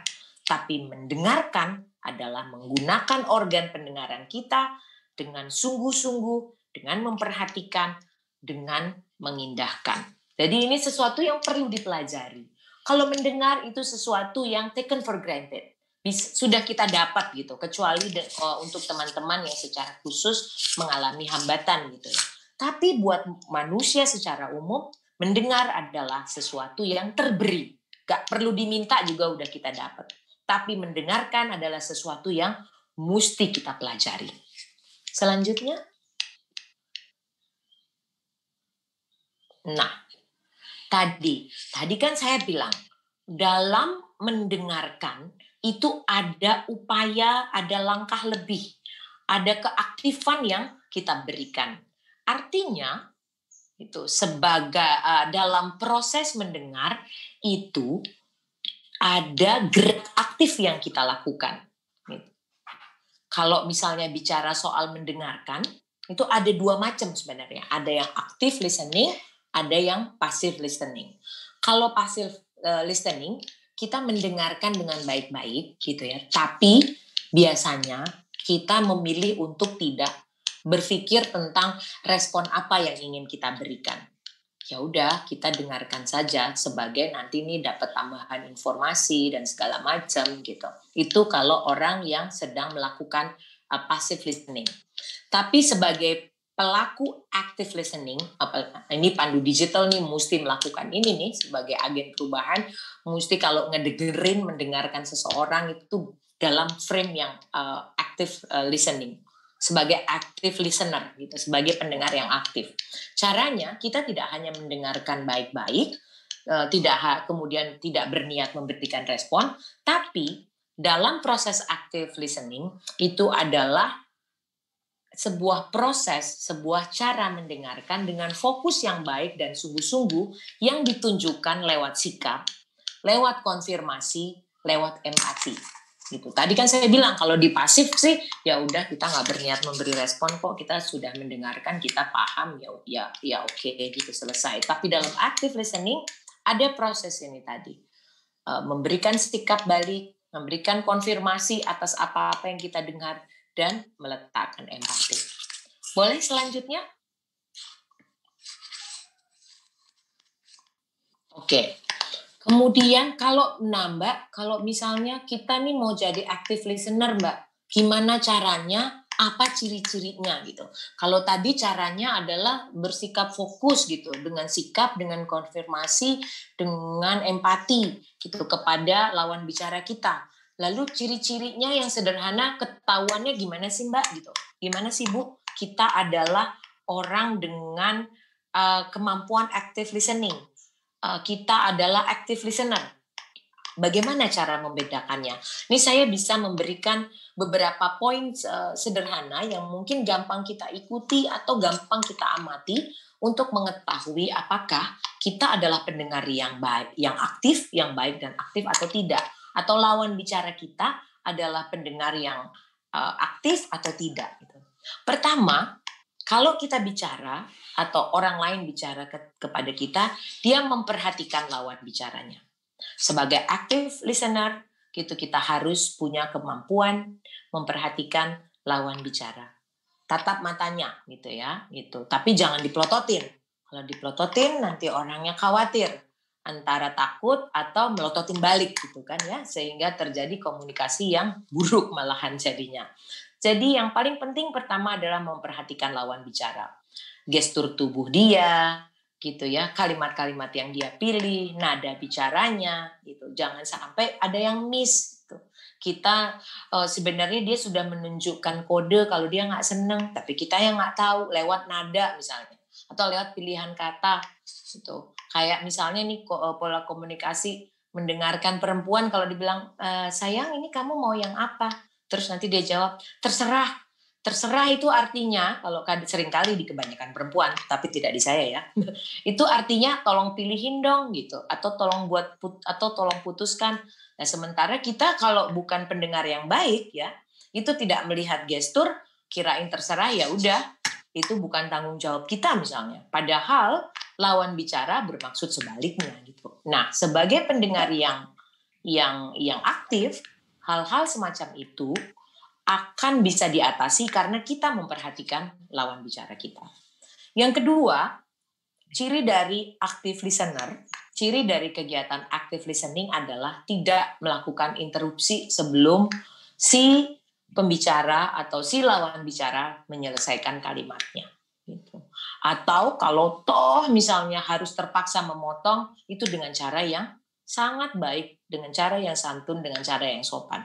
Tapi sebaiknya kita tidak menginterupsi apa yang sedang disampaikan oleh orang lain. Itu adalah syarat atau ciri untuk menjadi uh, active listener, untuk melakukan sebuah proses active listening.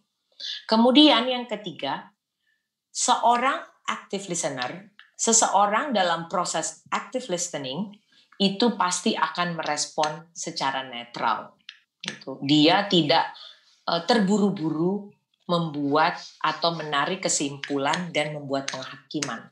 Gitu. Belum selesai kalimat orang atau misalnya orangnya udah selesai kalimat terus kita responnya salah kamu nggak kayak gitu kamu gitu. Nah itu bukan uh, active listener gitu ya. Itu bukan proses active listening. Seseorang dengan kemampuan uh, uh, mendengarkan yang baik dengan seseorang dengan proses active listening tidak akan memberikan respon uh, secara negatif yang serta merta demikian gitu. Kemudian yang keempat, sebagai uh, orang dengan uh, dalam proses active listening, kita juga ciri-cirinya itu salah satunya adalah menggunakan parafrase poin dari apa yang disampaikan oleh lawan bicara kita. Maksudnya apa nih Mbak gitu? Maksudnya gini, setelah kita mendengarkan kalimat uh, seseorang gitu, pendapat yang dia sampaikan, maka kita mengambil sudut pandang atau mengambil titik dari apa yang dia sampaikan. Pakai kalimat pembukanya tuh kalimat awal dia. Misalnya ya, dia mengeluh tentang situasi aduh pak susah nih sekarang nih. Misalnya kan zaman pandemi kayak gini nih semua orang jualan dari rumah gitu. Dulu sih saya eh, produk saya lasanya misalnya dia bilang dulu nggak banyak yang jualan gitu. So, jualan saya di online laku banget gitu. Sehari kadang bisa saya tuh harus PO gitu. So, so, kalau kalau enggak nggak kepegang gitu. Sementara sekarang gitu PO aja susah banget nyarinya. Misalnya nih ya ada ada seorang teman yang mengeluh untuk bisa dibantu uh, marketing uh, uh, penjualan lasanya onlinenya misalnya gitu. Nah sebagai active listener sebagai orang dalam proses active listening Poin keempat, parafrase poin yang disampaikan itu bagaimana Mbak uh, intinya?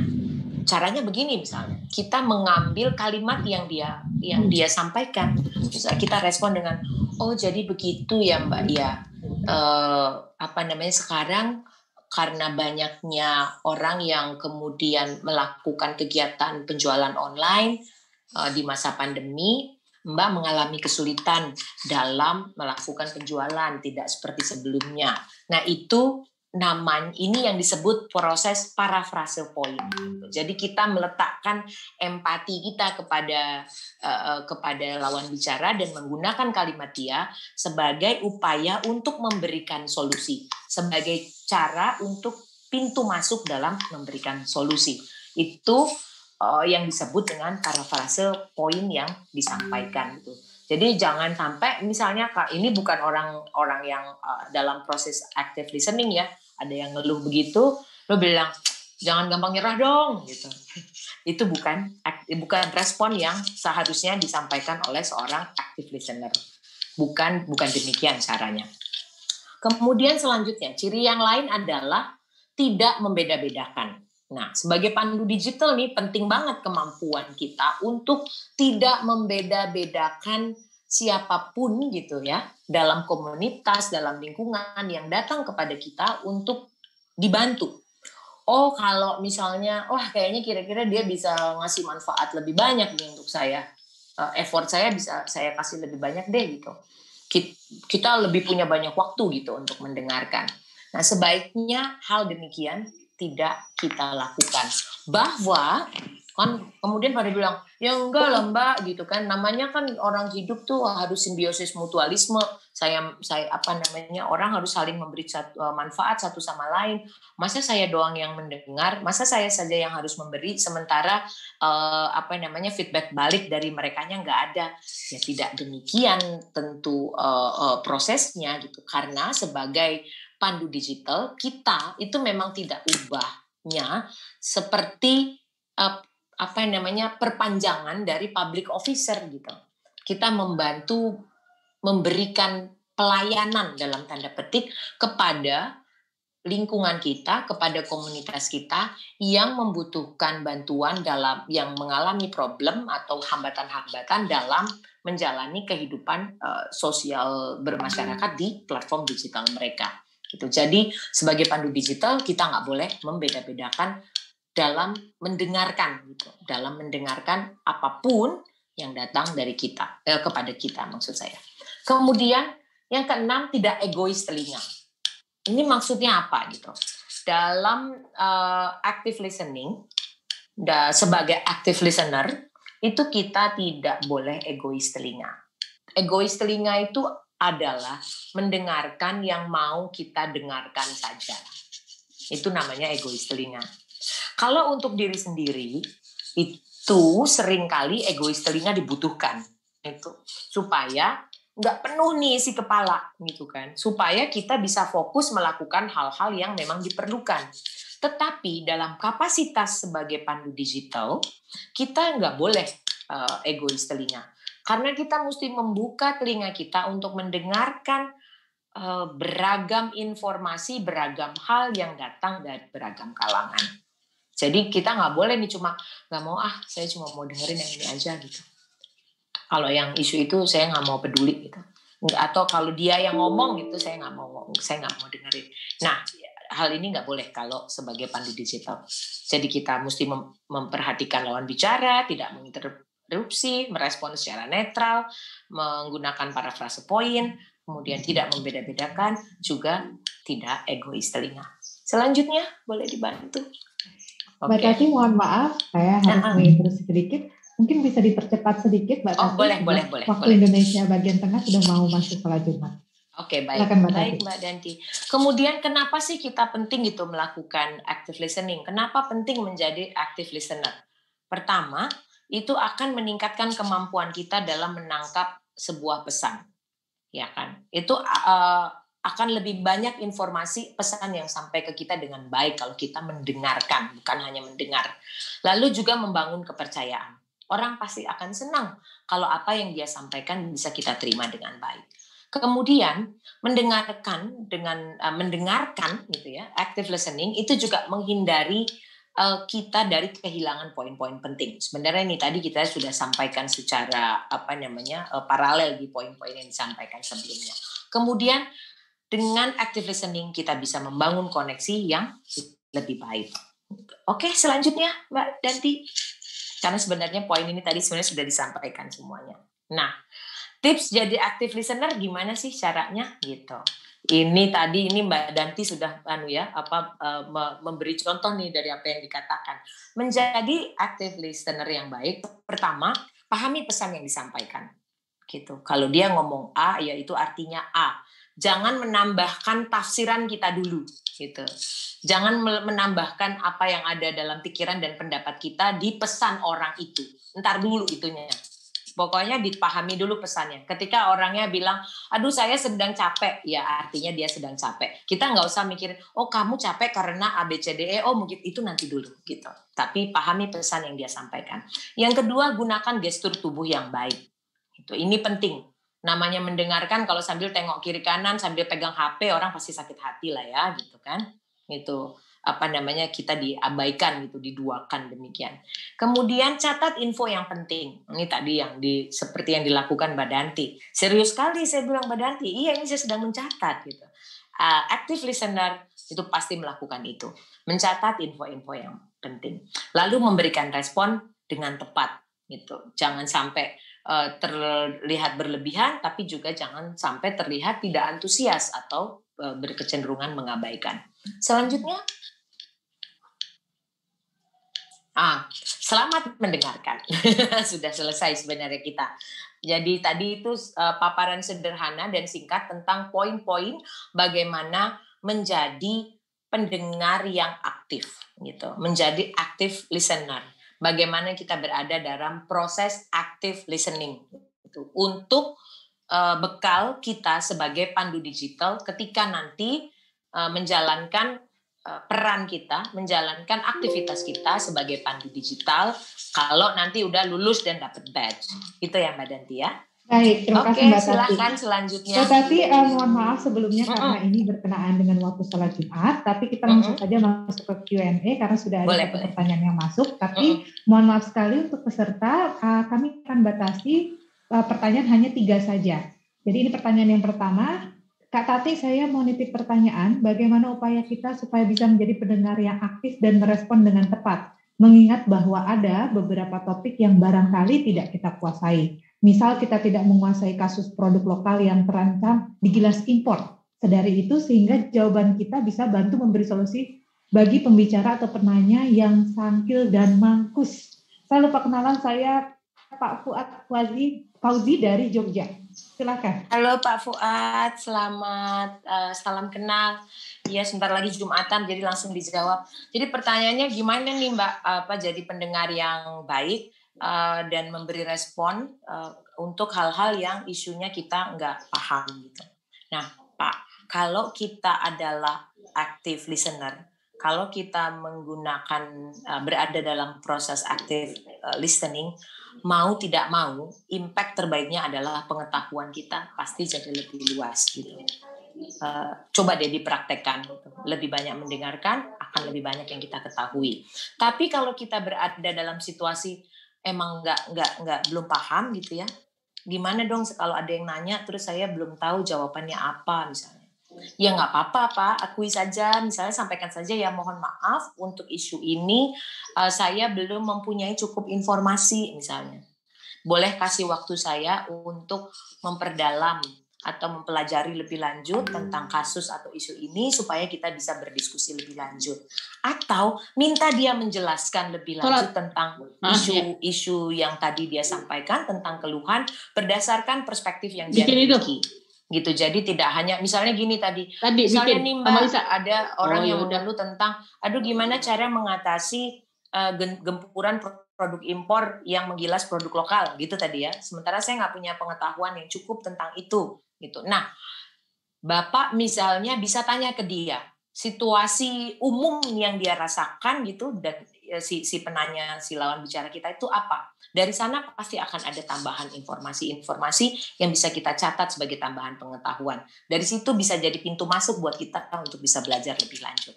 Kira-kira begitu ya pak ya. Pertama itu uh, percayalah bahwa dengan uh, bergiat sebagai active listener dengan berada dalam proses active listening terus menerus pengetahuan yang kita miliki itu pasti akan jauh lebih banyak pasti jauh lebih baik.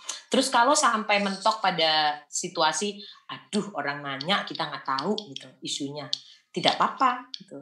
Sampaikan saja bahwa pengetahuan dan informasi kita belum cukup, tapi kita bersiap dan membuka diri untuk mempelajarinya lebih lanjut. Atau kalau memang kita, aduh itu bukan bidang saya sama sekali, pertemukan dia gitu, hubungkan dia dengan orang yang mempunyai kemampuan tentang itu. Gitu. Misalnya ini saya ya, saya ditanyain orang tentang uh, gimana uh, optimasi uh, platform digital yang secara teknis nih. Saya nggak ngerti nih gimana mengguna uh, penggunaannya gitu. Gimana uh, pakai pakai Google AdSense misalnya gitu. Saya nggak terlalu paham. Tapi saya punya temen nih yang yang paham, yang ahli. Ya saya bisa bantu hubungkan dengan mereka yang jauh lebih ahli dan lebih paham. Itu juga uh, respon yang bisa diberikan oleh seorang active listener. Baik, terima kasih Mbak Tati jawabannya luar biasa sekali. Kita harus bergerak cepat karena di sini sudah ada dua orang yang menanya ini adalah dua, dua pertanyaan terakhir. Pak okay. Suryanto Gradasi Sumut, silakan operator untuk Wah, membantu Pak Surya. Nanya lagi nih Pak Surya. Iya, banyak sekali. Halo Pak Boras, apa kabar? Pak Suryanto memiliki banyak pertanyaan nih hari ini. Okay. Silakan. Halo, apakah suara saya didengar dengan baik? Terdengar dengan sangat baik. Didengarkan Oke, baik. Terima Pak. kasih. Silakan Pak langsung saja. Eh, Bu, Bu Tati ya. Tati, ya Tati. Kayak mana kabar Medan? Iya Bu Tati ya. Luar biasa ya. Luar... Oh. Halo. Halo, Baik, ya, Bapak, ya, langsung ke silakan. pertanyaannya Halo. saja, Bapak, karena kita terkait dengan waktu. Oke. Sebentar lagi uh, kita akan tadi, Mohon maaf, tadi ada saya sempat tertinggal dari uh, pemaparan Bu Tati tadi. Uh, bahwasanya ciri-ciri sederhana ketika kita uh, menjadi aktif listening itu adalah salah satu memperhatikan lawan bicara. Nah, ini sesuai dengan yang saya juga pernah belajar di ilmu uh, NLP ya. Tidak menginterupsi, merespons. Ini jago banget, Bapak. Tidak, ya, ya. Terus parafrase yang mengulang-ulang apa yang dikatakannya gitu kan.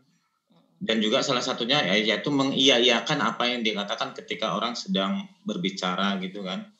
Dan di sini tadi saya sempat tertinggal penjelasan yang tidak membeda-bedakan itu uh, Bu Tati. Tidak membeda-bedakan okay. dan tidak ego uh, itu saya tidak tadi egois telinga. ada ada telepon masuk. Jadi yang di sini tadi kurang jelas, tidak membeda-bedakan. Oh, oke okay, baik. Oke, okay. baik Bu Tati, tidak egois telinga. Mungkin bisa dijelaskan. Ya, jadi ada dua poin tadi yang mungkin Pak Surya ketinggalan tidak membeda-bedakan, lalu tidak egois telinga. Ya, tidak membeda-bedakan itu artinya kita baik. mesti menempatkan diri secara sama ketika berhadapan dengan sebagai pandu digital ini ya, ketika berhadapan dengan siapa pun yang mengajukan pertanyaan atau mengajak kita bicara gitu. Jadi jangan mentang-mentang yang yang ngajak ngomong Pak Camat gitu kan, wah itu telinganya langsung lebih lebar mendengarkan. Tapi ketika yang bicara pedagang kaki lima ke kita, terus uh, kita kayak setengah hati mendengarkan. Itu yang saya maksud tidak boleh membeda-bedakan. Kepada siapa pun itu uh, effort kita, upaya kita untuk mau mendengarkan itu harus sama. Itu yang dimaksud dengan tidak membeda-bedakan. Lalu tidak egois telinga itu maksudnya apa? Nah, tidak egois telinga itu tidak hanya mau mendengarkan apa yang ingin kita dengar. Seringkali sebagai pandu digital, mungkin aktif di gradasi gitu ya, kita kan harus mendengarkan eh, hal-hal yang sepertinya itu bukan urusan kita gitu. Sebagai pribadi, misalnya saya bisa bilang, aduh gue nggak mau denger deh, lu ngomong kayak kayak gitu gitu. It's not bukan urusan saya. Tapi sebagai pandu digital kan nggak boleh.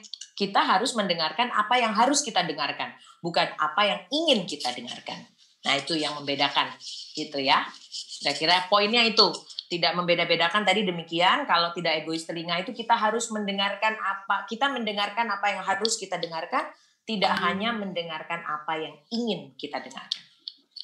Baik, itu Pak Surya jawaban dari ya. Bu Tati. Semoga menjawab pertanyaan Bapak Surya. Semoga menjawab ya Pak Surya ya. Ya, siap. Baik. Uh, sebelumnya kalau tidak salah ada Bapak Yohanes. Apakah Bapak Yohanes masih mau bertanya? Karena kita tinggal satu penanya lagi nih Mbak Tati. Boleh. Mohon kalau maaf ketika Jumat chat. memang waktunya agak sempit ya. Pendek ya. Baik, oh, iya. Betul. Saya langsung ke kolom chat saja. Uh -uh. Uh, Bu, saya prihatin juga kasus saling lapor atas postingan di media sosial, padahal mereka belum konfirmasi atau tidak mau memahami maksud dan penjelasan yang posting. Apakah ini pengaruh dari negatif listener? Silahkan tanggapan kita. Jadi pertanyaan ya, terakhir. Tepat sekali Mbak, tepat sekali gitu. Jadi eh, bagaimana kemudian kehebohan, konflik dan segala macam terjadi di sosial media itu adalah sebuah dampak dari dari ketiadaan kemampuan active listening. Orang yang uh, bersik apa bertindak sebagai active listener pasti tidak akan reaktif. Pasti tidak akan jadi orang yang judgmental gitu ya. Pasti tidak akan kemudian terlibat konflik yang tidak perlu gitu di apalagi di sosial media. Kalau tadi pertanyaannya prihatin nih sama uh, bagaimana orang saling lapor karena tulisan di sosmed atau apa pun gitu ya karena postingan. Persis itu karena dia tidak mendengarkan gitu. Karena gini uh, kalau kita bicara langsung ya tadi emang mendengar tadi saya sudah sebutkan ya uh, prosesnya. Kalau kita berhadapan dengan orang langsung itu atau seperti ini ada suara ya saya menyampaikan sesuatu teman-teman menggunakan organ telinga untuk mendengar dan mendengarkan. Tapi kalau di tulisan itu kan kita membaca Nah, dalam bacaan itu kan ada suara yang di pikiran kita dan kita dengar di telinga, kita olah di otak, ya kan? Kita rasakan, kemudian kalau itu menjadi sesuatu yang menyenangkan maupun tidak, lalu kita beri respon. Ketika kemampuan mendengarkannya tidak baik gitu, bukan sesuatu yang secara fundamental melekat dalam dirinya, ya jadinya reaksioner, ya jadinya seperti yang sering kita lihat di sosial media gitu Pokoknya balas berbales sebelum benar-benar paham apa yang disampaikan oleh uh, si lawan uh, bicara kita gitu di sos lawan bicara kita. Itu kalau ditanya apakah itu karena orang yang nggak mau mendengarkan, hampir bisa dipastikan sih iya. Kalau dia adalah good list, apa active and good listener, pasti tidak akan mengalami eh, problem-problem uh, semacam itu di sosial media. Baik, Jadi penting kasih, ya itu berbagi Sangat soal, penting sekali. Uh -uh, betul. Karena kita berada di dunia dengan uh, arus komunikasi yang sangat cepat. Setiap orang betul. ingin berbicara, tapi tidak betul. mau mendengarkan, hanya Persis. mau didengar saja. Persis. Baik, Mbak Tati, mudah-mudahan materi hari ini bisa membuka wawasan kita bagaimana pentingnya mendengar untuk menjadikan diri kita orang yang jauh lebih menghargai orang lain, orang yang penuh dengan pengetahuan, dan juga orang yang bisa mengaplikasikan ilmu yang kita punya karena kita mampu mendengarkan dengan baik. Baik, terima kasih Mbak, Mbak Tati atas waktunya. Selamat beraktivitas kembali. Salam sehat selalu. Salam sehat selalu. Salam sehat selalu. Baik, Bapak, Ibu, serta hadirin yang berbahagia. Kita telah sampai pada penghujung acara. Mohon maaf sebelumnya karena waktu di hari Jumat adalah waktu yang pendek maka saya akan bergerak dengan cepat untuk mengingatkan kembali beberapa poin penting yang harus diingat oleh Bapak Ibu sekalian bahwa yang pertama adalah workshop dan post-test bersifat wajib untuk diikuti dan diselesaikan oleh seluruh peserta. Yang kedua, link workshop dapat diakses melalui akun digitalisasi email melalui email yang terdaftar di akun tersebut. Token post-test akan saya berikan pada akhir sesi seminar dan workshop sebagai akses untuk mengerjakan post-test. Untuk token aku eh, token post test hari ini adalah 864000. Saya ulangi, token post test pada hari ini adalah 864000. Saya akan ulangi yang terakhir kali. Untuk post test ini adalah 864003 kali. Baik, yang keempat, kami sangat berharap untuk mengerti kerjakan postes dengan sungguh-sungguh, sebab hasil postes akan menjadi penentu apakah Anda mampu dan layak menjadi bagian dari pandu digital. Dan bagi Anda yang lulus postes, secara otomatis mendapatkan badge merah, dan badge merah ini akan memberikan Anda full benefit untuk mengakses semua event dan kemudahan sebagai bagian dari pandu digital. Sedangkan untuk peserta yang belum mendaftarkan akun, dapat melakukan pendaftaran akun Pandu Digital melalui situs resmi pandu.com.kominfo.go.id, lalu tinggal diklik event yang terkait dengan materi yang ingin diakses. Sebelum kita mengakhiri acara seminar hari ini, saya akan mengajak Bapak dan Ibu serta peserta yang luar biasa pada hari ini untuk menyalakan semua videonya karena kita akan memasuki sesi dokumentasi. Kita akan mengambil tiga foto aba-aba dari saya untuk link akses bisa dibantu oleh operator untuk di-share di kolom chat. Baik, kita akan memasuki sesi dokumentasi. Silakan menyalakan video Bapak dan Ibu sekalian. Foto yang pertama. Satu, dua, tiga. Baik, masuki foto yang kedua, kita kepalkan tangan, kita tunjukkan bahwa kita bisa menjadi pandu digital Indonesia dan kita adalah agen perubahan di tanah air. Satu, dua, tiga. Baik, foto yang terakhir, mari kita berikan tanda cinta. Terima kasih sekali cinta yang sangat besar kepada Kementerian Komunikasi dan Informatika Republik Indonesia telah mengadakan program Pandu Digital bersama seluruh stakeholder yang terkait untuk menjadikan Indonesia generasi digital yang mapan dan cakap. Kembali kita ambil foto. Satu, dua, tiga. Baik, Sekali lagi, nanti operator akan membantu untuk link absen di-share melalui kolom chat. Terima kasih Bapak Ibu serta hadirin sekalian. Tidak terasa kita sudah sampai ke penghujung acara. Saya dan tim Mahardika mewakili seluruh panitia dan juga narasumber pada hari ini mengucapkan terima kasih yang sebesar-besarnya atas atensi dan juga perhatian yang diberikan oleh seluruh peserta pada hari ini.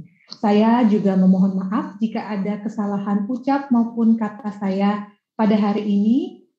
Akhir kata, wabillahi taufik wal hidayah. Wassalamualaikum warahmatullahi wabarakatuh. Om Santi, Santi, Santi Om. Selamat siang.